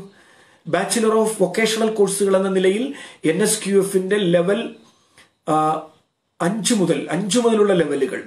നാല് മുതൽ നാല് വരെയുള്ള ലെവലുകൾ ഹയർ സെക്കൻഡറിക്ക് ബാധകമാണ്. അഞ്ച് മുതലുള്ള ലെവലുകൾ അഞ്ച് ആറ് ഏഴ് ലെവൽ ലെവൽ ഇപ്പോൾ ബി വോക്ക് കോഴ്സുകൾ എന്ന പേരിൽ ഇത്തരത്തിൽ പിന്നെ തൊഴിൽ വിപണിക്ക് വേണ്ടി രൂപപ്പെടുത്തിയ കോഴ്സുകൾ എന്ന നിലയിൽ നമ്മുടെ പല കോളേജുകളിലും ആരംഭിച്ചിട്ടുണ്ട് ബി വോക്ക് കോഴ്സുകൾ. കുട്ടികൾ അതിൽ ചേരുന്നുമുണ്ട് അപ്പൊ ഈ നടത്തിപ്പുന്നവർക്ക് പോലും ബി ഓ ബി വോക്ക് കോഴ്സുകൾ എന്താണെന്നോ എന്തിനാണെന്നോ അതിന്റെ ദാർശനിക സമീപനം എന്താണെന്നോ അതിന്റെ പ്രത്യയശാസ്ത്ര അജണ്ടകൾ എന്താണെന്നോ ബോധ്യമായിട്ടല്ല. അപ്പൊ അതിന്റെ മറ്റൊരു രൂപമാണ് ഇപ്പോൾ നടക്കുന്ന അസാപ്പ് പോലെയുള്ള മറ്റൊരു രൂപമാണ് നമ്മൾ ഈ പറയുന്ന പിന്നെ പഠനത്തോടൊപ്പം തൊഴിലും എന്ന് പറയുന്ന പദ്ധതി. അപ്പൊ നമുക്കറിയാം ആത്യന്തികമായി പഠനവും ഇല്ല തൊഴിലും ഇല്ല എന്ന നിലയിലേക്കാണ് കാര്യങ്ങൾ പോകുന്നത്. അപ്പോൾ ഈ പഠനത്തിനുണ്ടാകേണ്ട നമ്മൾ ഒരു ഇൻസ്ട്രക്ഷണൽ ടൈം ഒരു കരിക്കുലം അത് സ്കൂൾ തലത്തിലാകട്ടെ കോളേജ് തലത്തിലാകട്ടെ യൂണിവേഴ്സിറ്റി തലത്തിലാകട്ടെ നമ്മളൊരു കരിക്കുലം ഫിക്സ് ചെയ്യുന്നത് അതിന്റെ ഒരു ഇൻസ്ട്രക്ഷണൽ ടൈം വെച്ചുകൊണ്ടും കുട്ടിയുടെ പ്രകൃതവും കുട്ടിയുടെ പ്രായവും ഒക്കെ പരിഗണിച്ചുകൊണ്ടുമാണ് കരിക്കുലം. കരിക്കുലം കൺസ്ട്രക്ഷന്റെ ബേസിക് ആയിട്ടുള്ള പോയിന്റ്സ് ആണ് അതിന്റെ whether it is contemporary to the student whether it is learner age specific whether it is nature specific specificity ഇതൊക്കെ അതിനുണ്ടോ എന്നുള്ളത് വളരെ പ്രധാനപ്പെട്ട ഒരു ചോദ്യമാണ് അപ്പോൾ കുട്ടിയുടെ പ്രായത്തിനും പ്രകൃതത്തിനും നമ്മൾ ഒരു ഇൻസ്ട്രക്ഷണൽ ടൈമിനും നമ്മൾ കൊടുക്കുന്ന ഒരു വിനിമയ സമയത്തിനൊക്കെ അനുസൃതമായിട്ടാണ് ഒരു കരിക്കുലം നമ്മൾ രൂപീകരിക്കുന്നത്. അപ്പൊ അത്തരത്തിലുള്ളൊരു കരിക്കുലത്തെ ഡൈല്യൂട്ട് ചെയ്യുകയും കുട്ടിക്ക് കിട്ടേണ്ടത് വലിയ കരിക്കുലം ലീക്കേജിലേക്കും കരിക്കുലം ഡൈല്യൂഷനിലേക്കും ഇത് പോകാനാണ് സാധ്യത. അപ്പോൾ നമ്മൾ ഒരു അന്തർദേശീയമായ ദേശീയമായ ഒരു സ്റ്റാൻഡർഡൈസേഷനിൽ നിന്ന് ഒരു ഏകീകരണം ഉണ്ടാകേണ്ടി വരുന്ന ഒരു ഘട്ടത്തിൽ അന്തർദേശീയമായ മത്സര പരീക്ഷകൾ അടക്കം നമ്മുടെ കുട്ടികൾ എഴുതേണ്ടി വരുന്ന ഒരു ഘട്ടത്തിൽ കുട്ടികൾക്ക് കിട്ടേണ്ടുന്ന ചില അച്ചീവ്മെന്റ് സ്റ്റാൻഡേർഡ്സ് ഉണ്ട് ചില ബെഞ്ച് മാർക്കുകളുണ്ട് വിദ്യാഭ്യാസ ക്രമത്തിൽ ഉദാഹരണത്തിന് പത്താം ക്ലാസ് പാസ്സാവുന്ന ഒരു കുട്ടി വിദ്യാഭ്യാസ ക്രമത്തിൽ നിന്ന് നേടേണ്ടുന്ന ചില ബെഞ്ച് മാർക്കിങ്സ് ഉണ്ട് ചില ചെക്ക് പോയിന്റുകളുണ്ട് അപ്പോൾ അതിനെ നമ്മൾ പറയുന്ന ഒരു ഒരു ഒരു ഒരു പ്രതീക്ഷിത നിലവാരം എന്നൊക്കെ നമ്മൾ വിളിക്കുന്ന ഒരു ഔട്ട്കം കുട്ടിക്ക് കിട്ടേണ്ടതുണ്ട്. അപ്പൊ അത് അത് കുട്ടിയുടെ എല്ലാ തലങ്ങളിലും കേവലമായ അറിവ് മാത്രമല്ല ഞാൻ പറയുന്നത് അത് അറിവിന്റെ തലത്തിലാണെങ്കിലും അത് മനോഭാവത്തിന്റെ തലത്തിലാണെങ്കിലും കുട്ടിക്ക് കിട്ടേണ്ടുന്ന അത് പ്രകടനമായി കുട്ടിക്ക് അത് അവതരിപ്പിക്കാൻ കഴിയുന്ന കാര്യത്തിലാണെങ്കിലും കുട്ടിക്ക് കിട്ടേണ്ടുന്ന ആ ഒരു അച്ചീവ്മെന്റ് ലെവൽ ഒരു നിലവാരം എന്ന് പറയുന്ന ആ നിലവാരത്തെ നിലവാരത്തിന് നിലവാരത്തെ വലിയ തരത്തിൽ ബാധിക്കാൻ ഇടയുണ്ട് ഇത്തരം പദ്ധതികളെല്ലാം തന്നെ. അത് ഇപ്പോൾ അസാപ്പ് പോലെയുള്ള പദ്ധതികൾ കേരളത്തിൽ ഉണ്ടാക്കിയ ഒരു ഇമ്പാക്റ്റിനെ കുറിച്ചുള്ള ഒരു സ്റ്റഡിയൊക്കെ വരേണ്ടതുണ്ട്. എന്താണ് ഈ പഠനം എത്ര പേർക്ക് തൊഴിൽ നേടുന്നതിന് സഹായിച്ചു? അതിന്റെ തെളിവുകൾ എവിഡൻസ് ഉണ്ടാവേണ്ടതുണ്ട്. അസാപ്പ് മാത്രമല്ല ഞാൻ പറയുന്ന ഈ ഇത്തരത്തിലുള്ള വിവിധ പദ്ധതികളെ സംബന്ധിച്ചിട്ടായാലും ആണെങ്കിലും. അപ്പോൾ അങ്ങനെ ഒക്കെയുള്ള ഒരു കോണ്ടെക്സ്റ്റിൽ നമ്മുടെ വിദ്യാഭ്യാസം കടന്നുപോയിക്കൊണ്ടിരിക്കുന്നു. ഞാൻ ആദ്യം സൂചിപ്പിച്ച നവോമി ക്ലീൻ അവതരിപ്പിക്കുന്ന ദുരന്ത മുതലാളിത്ത കാലഘട്ടത്തിലെ ഡിസാസ്റ്റർ ഇമ്പീരിയലിസത്തിന്റെ ഒരു ഡിസാസ്റ്റർ ക്യാപിറ്റലിസം എന്നുമല്ല ഡിസാസ്റ്റർ ഇമ്പീരിയലിസം എന്ന് വിളിക്കേണ്ട കാലഘട്ടത്തിലെ വിദ്യാഭ്യാസത്തിൽ നിന്ന് ലക്ഷക്കണക്കിന് പാർശ്വവൽകൃത വിഭാഗങ്ങളിലെ പ്രത്യേകിച്ചും മൈനോറിറ്റീസ് പിന്നെ ന്യൂനപക്ഷ വിഭാഗത്തിലെ വിദ്യാർത്ഥികൾ അടക്കം പുറന്തള്ളപ്പെടുന്ന കാലഘട്ടത്തിൽ ഇതിനെല്ലാം ഒരു പരിഹാരം എന്ന നിലയിൽ അവതരിപ്പിക്കുന്ന ഇത്തരം പദ്ധതികളെല്ലാം തന്നെ അത് എൻ എസ് ക്യു എഫ് ആയാലും ഏൺ വൈൽ യു ലേൺ ആയാലും അത് അസാപ് ആണെങ്കിലും അത് കൃത്യമായും ഒരു ഒരു തൊഴിലധിഷ്ഠിത വിദ്യാഭ്യാസത്തിന്റെ പേരിൽ കോർപ്പറേറ്റോക്രസിയുടെ താല്പര്യങ്ങളെ ഒളിച്ചു കിടത്താനുള്ള ഉപാധികളാക്കി മാറ്റുന്നു എന്നതാണ് എനിക്ക് ഈ ഒരു ചർച്ചയുമായി ബന്ധപ്പെട്ട് പറയാനുള്ളത്. നമ്മുടെ വിദ്യാഭ്യാസ ക്രമത്തിൽ സംഭവിച്ചുകൊണ്ടിരിക്കുന്ന വലിയ ചോർച്ചയെ ഉള്ളടക്ക ചോർച്ച മാത്രമല്ല നമ്മുടെ വിദ്യാഭ്യാസ ക്രമത്തിൽ സംഭവിച്ചുകൊണ്ടിരിക്കുന്നത് ഇപ്പോ ഇപ്പോ നമുക്കറിയാം ഈ ഞാൻ നേരത്തെ സൂചിപ്പിച്ചതുപോലെ മുപ്പത് ശതമാനം ഉള്ളടക്കം മുപ്പത് ശതമാനമല്ല നേരത്തെ തന്നെ രണ്ടായിരത്തി പതിനെട്ടിൽ രണ്ടായിരത്തി പതിനെട്ടിൽ തന്നെ ഒൻപത് പത്ത് ക്ലാസ്സുകളിലെ ചരിത്ര പാഠപുസ്തകങ്ങളിൽ നിന്ന് ചരിത്ര പാഠങ്ങളെ തെരഞ്ഞുപിടിച്ചുകൊണ്ട് ചരിത്ര പാഠപുസ്തകങ്ങളിൽ നിന്ന് ഇന്ത്യയിലെ പ്രസിദ്ധരായിട്ടുള്ള ചരിത്രക്കാർ ഒരു കാലഘട്ടത്തിൽ നമ്മുടെ ചരിത്ര പുസ്തകങ്ങൾ എഴുതിയിരുന്ന റൊമീല താപ്പറും അർജുൻ ദേവും ആർ എസ് ശർമ്മയും ബിപിൻ ചന്ദ്രയും സതീഷ് ചന്ദ്രയും പോലെയുള്ള ചരിത്രകാരന്മാർ എൻ സി ആർ ടിയുടെ ചരിത്ര പാഠപുസ്തകങ്ങളാണ് സത്യത്തിൽ ചരിത്രത്തിന്റെ ധ്രുവീകരണത്തെയും ചരിത്രത്തിന്റെ വക്രീകരണത്തെയും ഒക്കെ പ്രതിരോധിച്ചിരുന്നതിൽ നമ്മുടെ പാഠപുസ്തകങ്ങൾക്കുള്ള വലിയൊരു പങ്കുണ്ട്. സംശയമില്ല. അപ്പൊ അത്തരം പാഠപുസ്തകങ്ങളെ ഏറ്റവും ഒടുവിൽ രണ്ടായിരത്തി അഞ്ചിലെ എൻ സി എഫിന്റെ അടിസ്ഥാനത്തിൽ എഴുതിയ പാഠപുസ്തകങ്ങളിൽ പോലും സുമിത് സർക്കാരും പിന്നെ നമ്മുടെ ഹരി അടുത്തിടെ അന്തരിച്ച ചരിത്രകാരൻ ഹരി വാസുദേവനും തനിക സർക്കാരും രാമചന്ദ്ര ഗുഹയും സുമിത് സർക്കാരും അങ്ങനെയുള്ള മുകുൾ കേശവനും ഒക്കെ അടക്കമുള്ള പ്രസിദ്ധരായ ഇന്ത്യയിലെ ചരിത്രകാരന്മാർ എഴുതിയ പുസ്തകത്തെയാണ് ഒരു എക്സ്പേർട്ട് കമ്മിറ്റി പോലും രൂപീകരിക്കാതെ ഒരു ഒരു ഒരു കമ്മിറ്റി പോലും രൂപീകരിക്കാതെ വെട്ടിമാറ്റിയിരിക്കുന്നത് മുറിച്ചു മാറ്റിയിരിക്കുന്നത്. അപ്പോൾ ഇത്തരത്തിൽ ഉള്ള സമീപനങ്ങളെല്ലാം തന്നെ പൗര ബോധം ജനാധിപത്യ ബോധം മതേതര കാഴ്ചപ്പാട് ബഹുസ്വര സമൂഹത്തിന്റെ സൃഷ്ടി. ഇതടക്കമുള്ള മേഖല കാര്യങ്ങളിൽ നിന്ന് കുട്ടികളെ മാറ്റി നിർത്തുകയും കുട്ടികൾ ഇതൊന്നും പഠിക്കേണ്ടതില്ല എന്ന് തീരുമാനിക്കുകയും പകരം അവർ പഠിക്കേണ്ടത് കേവലമായ ചില പരിശീലനങ്ങൾ എന്ന നിലയിൽ ഉള്ള ചില കാര്യങ്ങൾ മാത്രമാണെന്നും അത് യോഗ യോഗയാണെന്നും അത് പിന്നെ പിന്നെ ഇത്തരത്തിലുള്ള പിന്നെ അപ്സൈഡായ അസംബന്ധമായ ശാസ്ത്രീയ സത്യങ്ങൾ എന്ന് പറഞ്ഞു വരുന്ന അസംബന്ധങ്ങളാണെന്നും എന്ന് എന്ന നിലയിലേക്ക് നമ്മുടെ വിദ്യാഭ്യാസം മാറുമ്പോൾ നമ്മുടെ സ്വാതന്ത്ര്യ പ്രക്ഷോഭകരും സ്വാതന്ത്ര്യ വിദ്യാഭ്യാസത്തിന് വേണ്ടി ജീവൻ ത്യജിച്ച ലക്ഷക്കണക്കിന് മനുഷ്യരും വിദ്യാഭ്യാസത്തിലൂടെ വൈജ്ഞാനികമായി വളർന്ന നമ്മുടെ സമൂഹം നേടിയ എല്ലാ പുരോഗതികളെയും പിന്നോട്ടടിക്കുകയാവും നമ്മളെ വീണ്ടും ഇരുണ്ട കാലഘട്ടത്തിലേക്ക്. നാം വലിച്ചു കൊണ്ടുപോവുകയാവും. ആത്യന്തികമായി ഇത് ചെയ്യുന്നത്.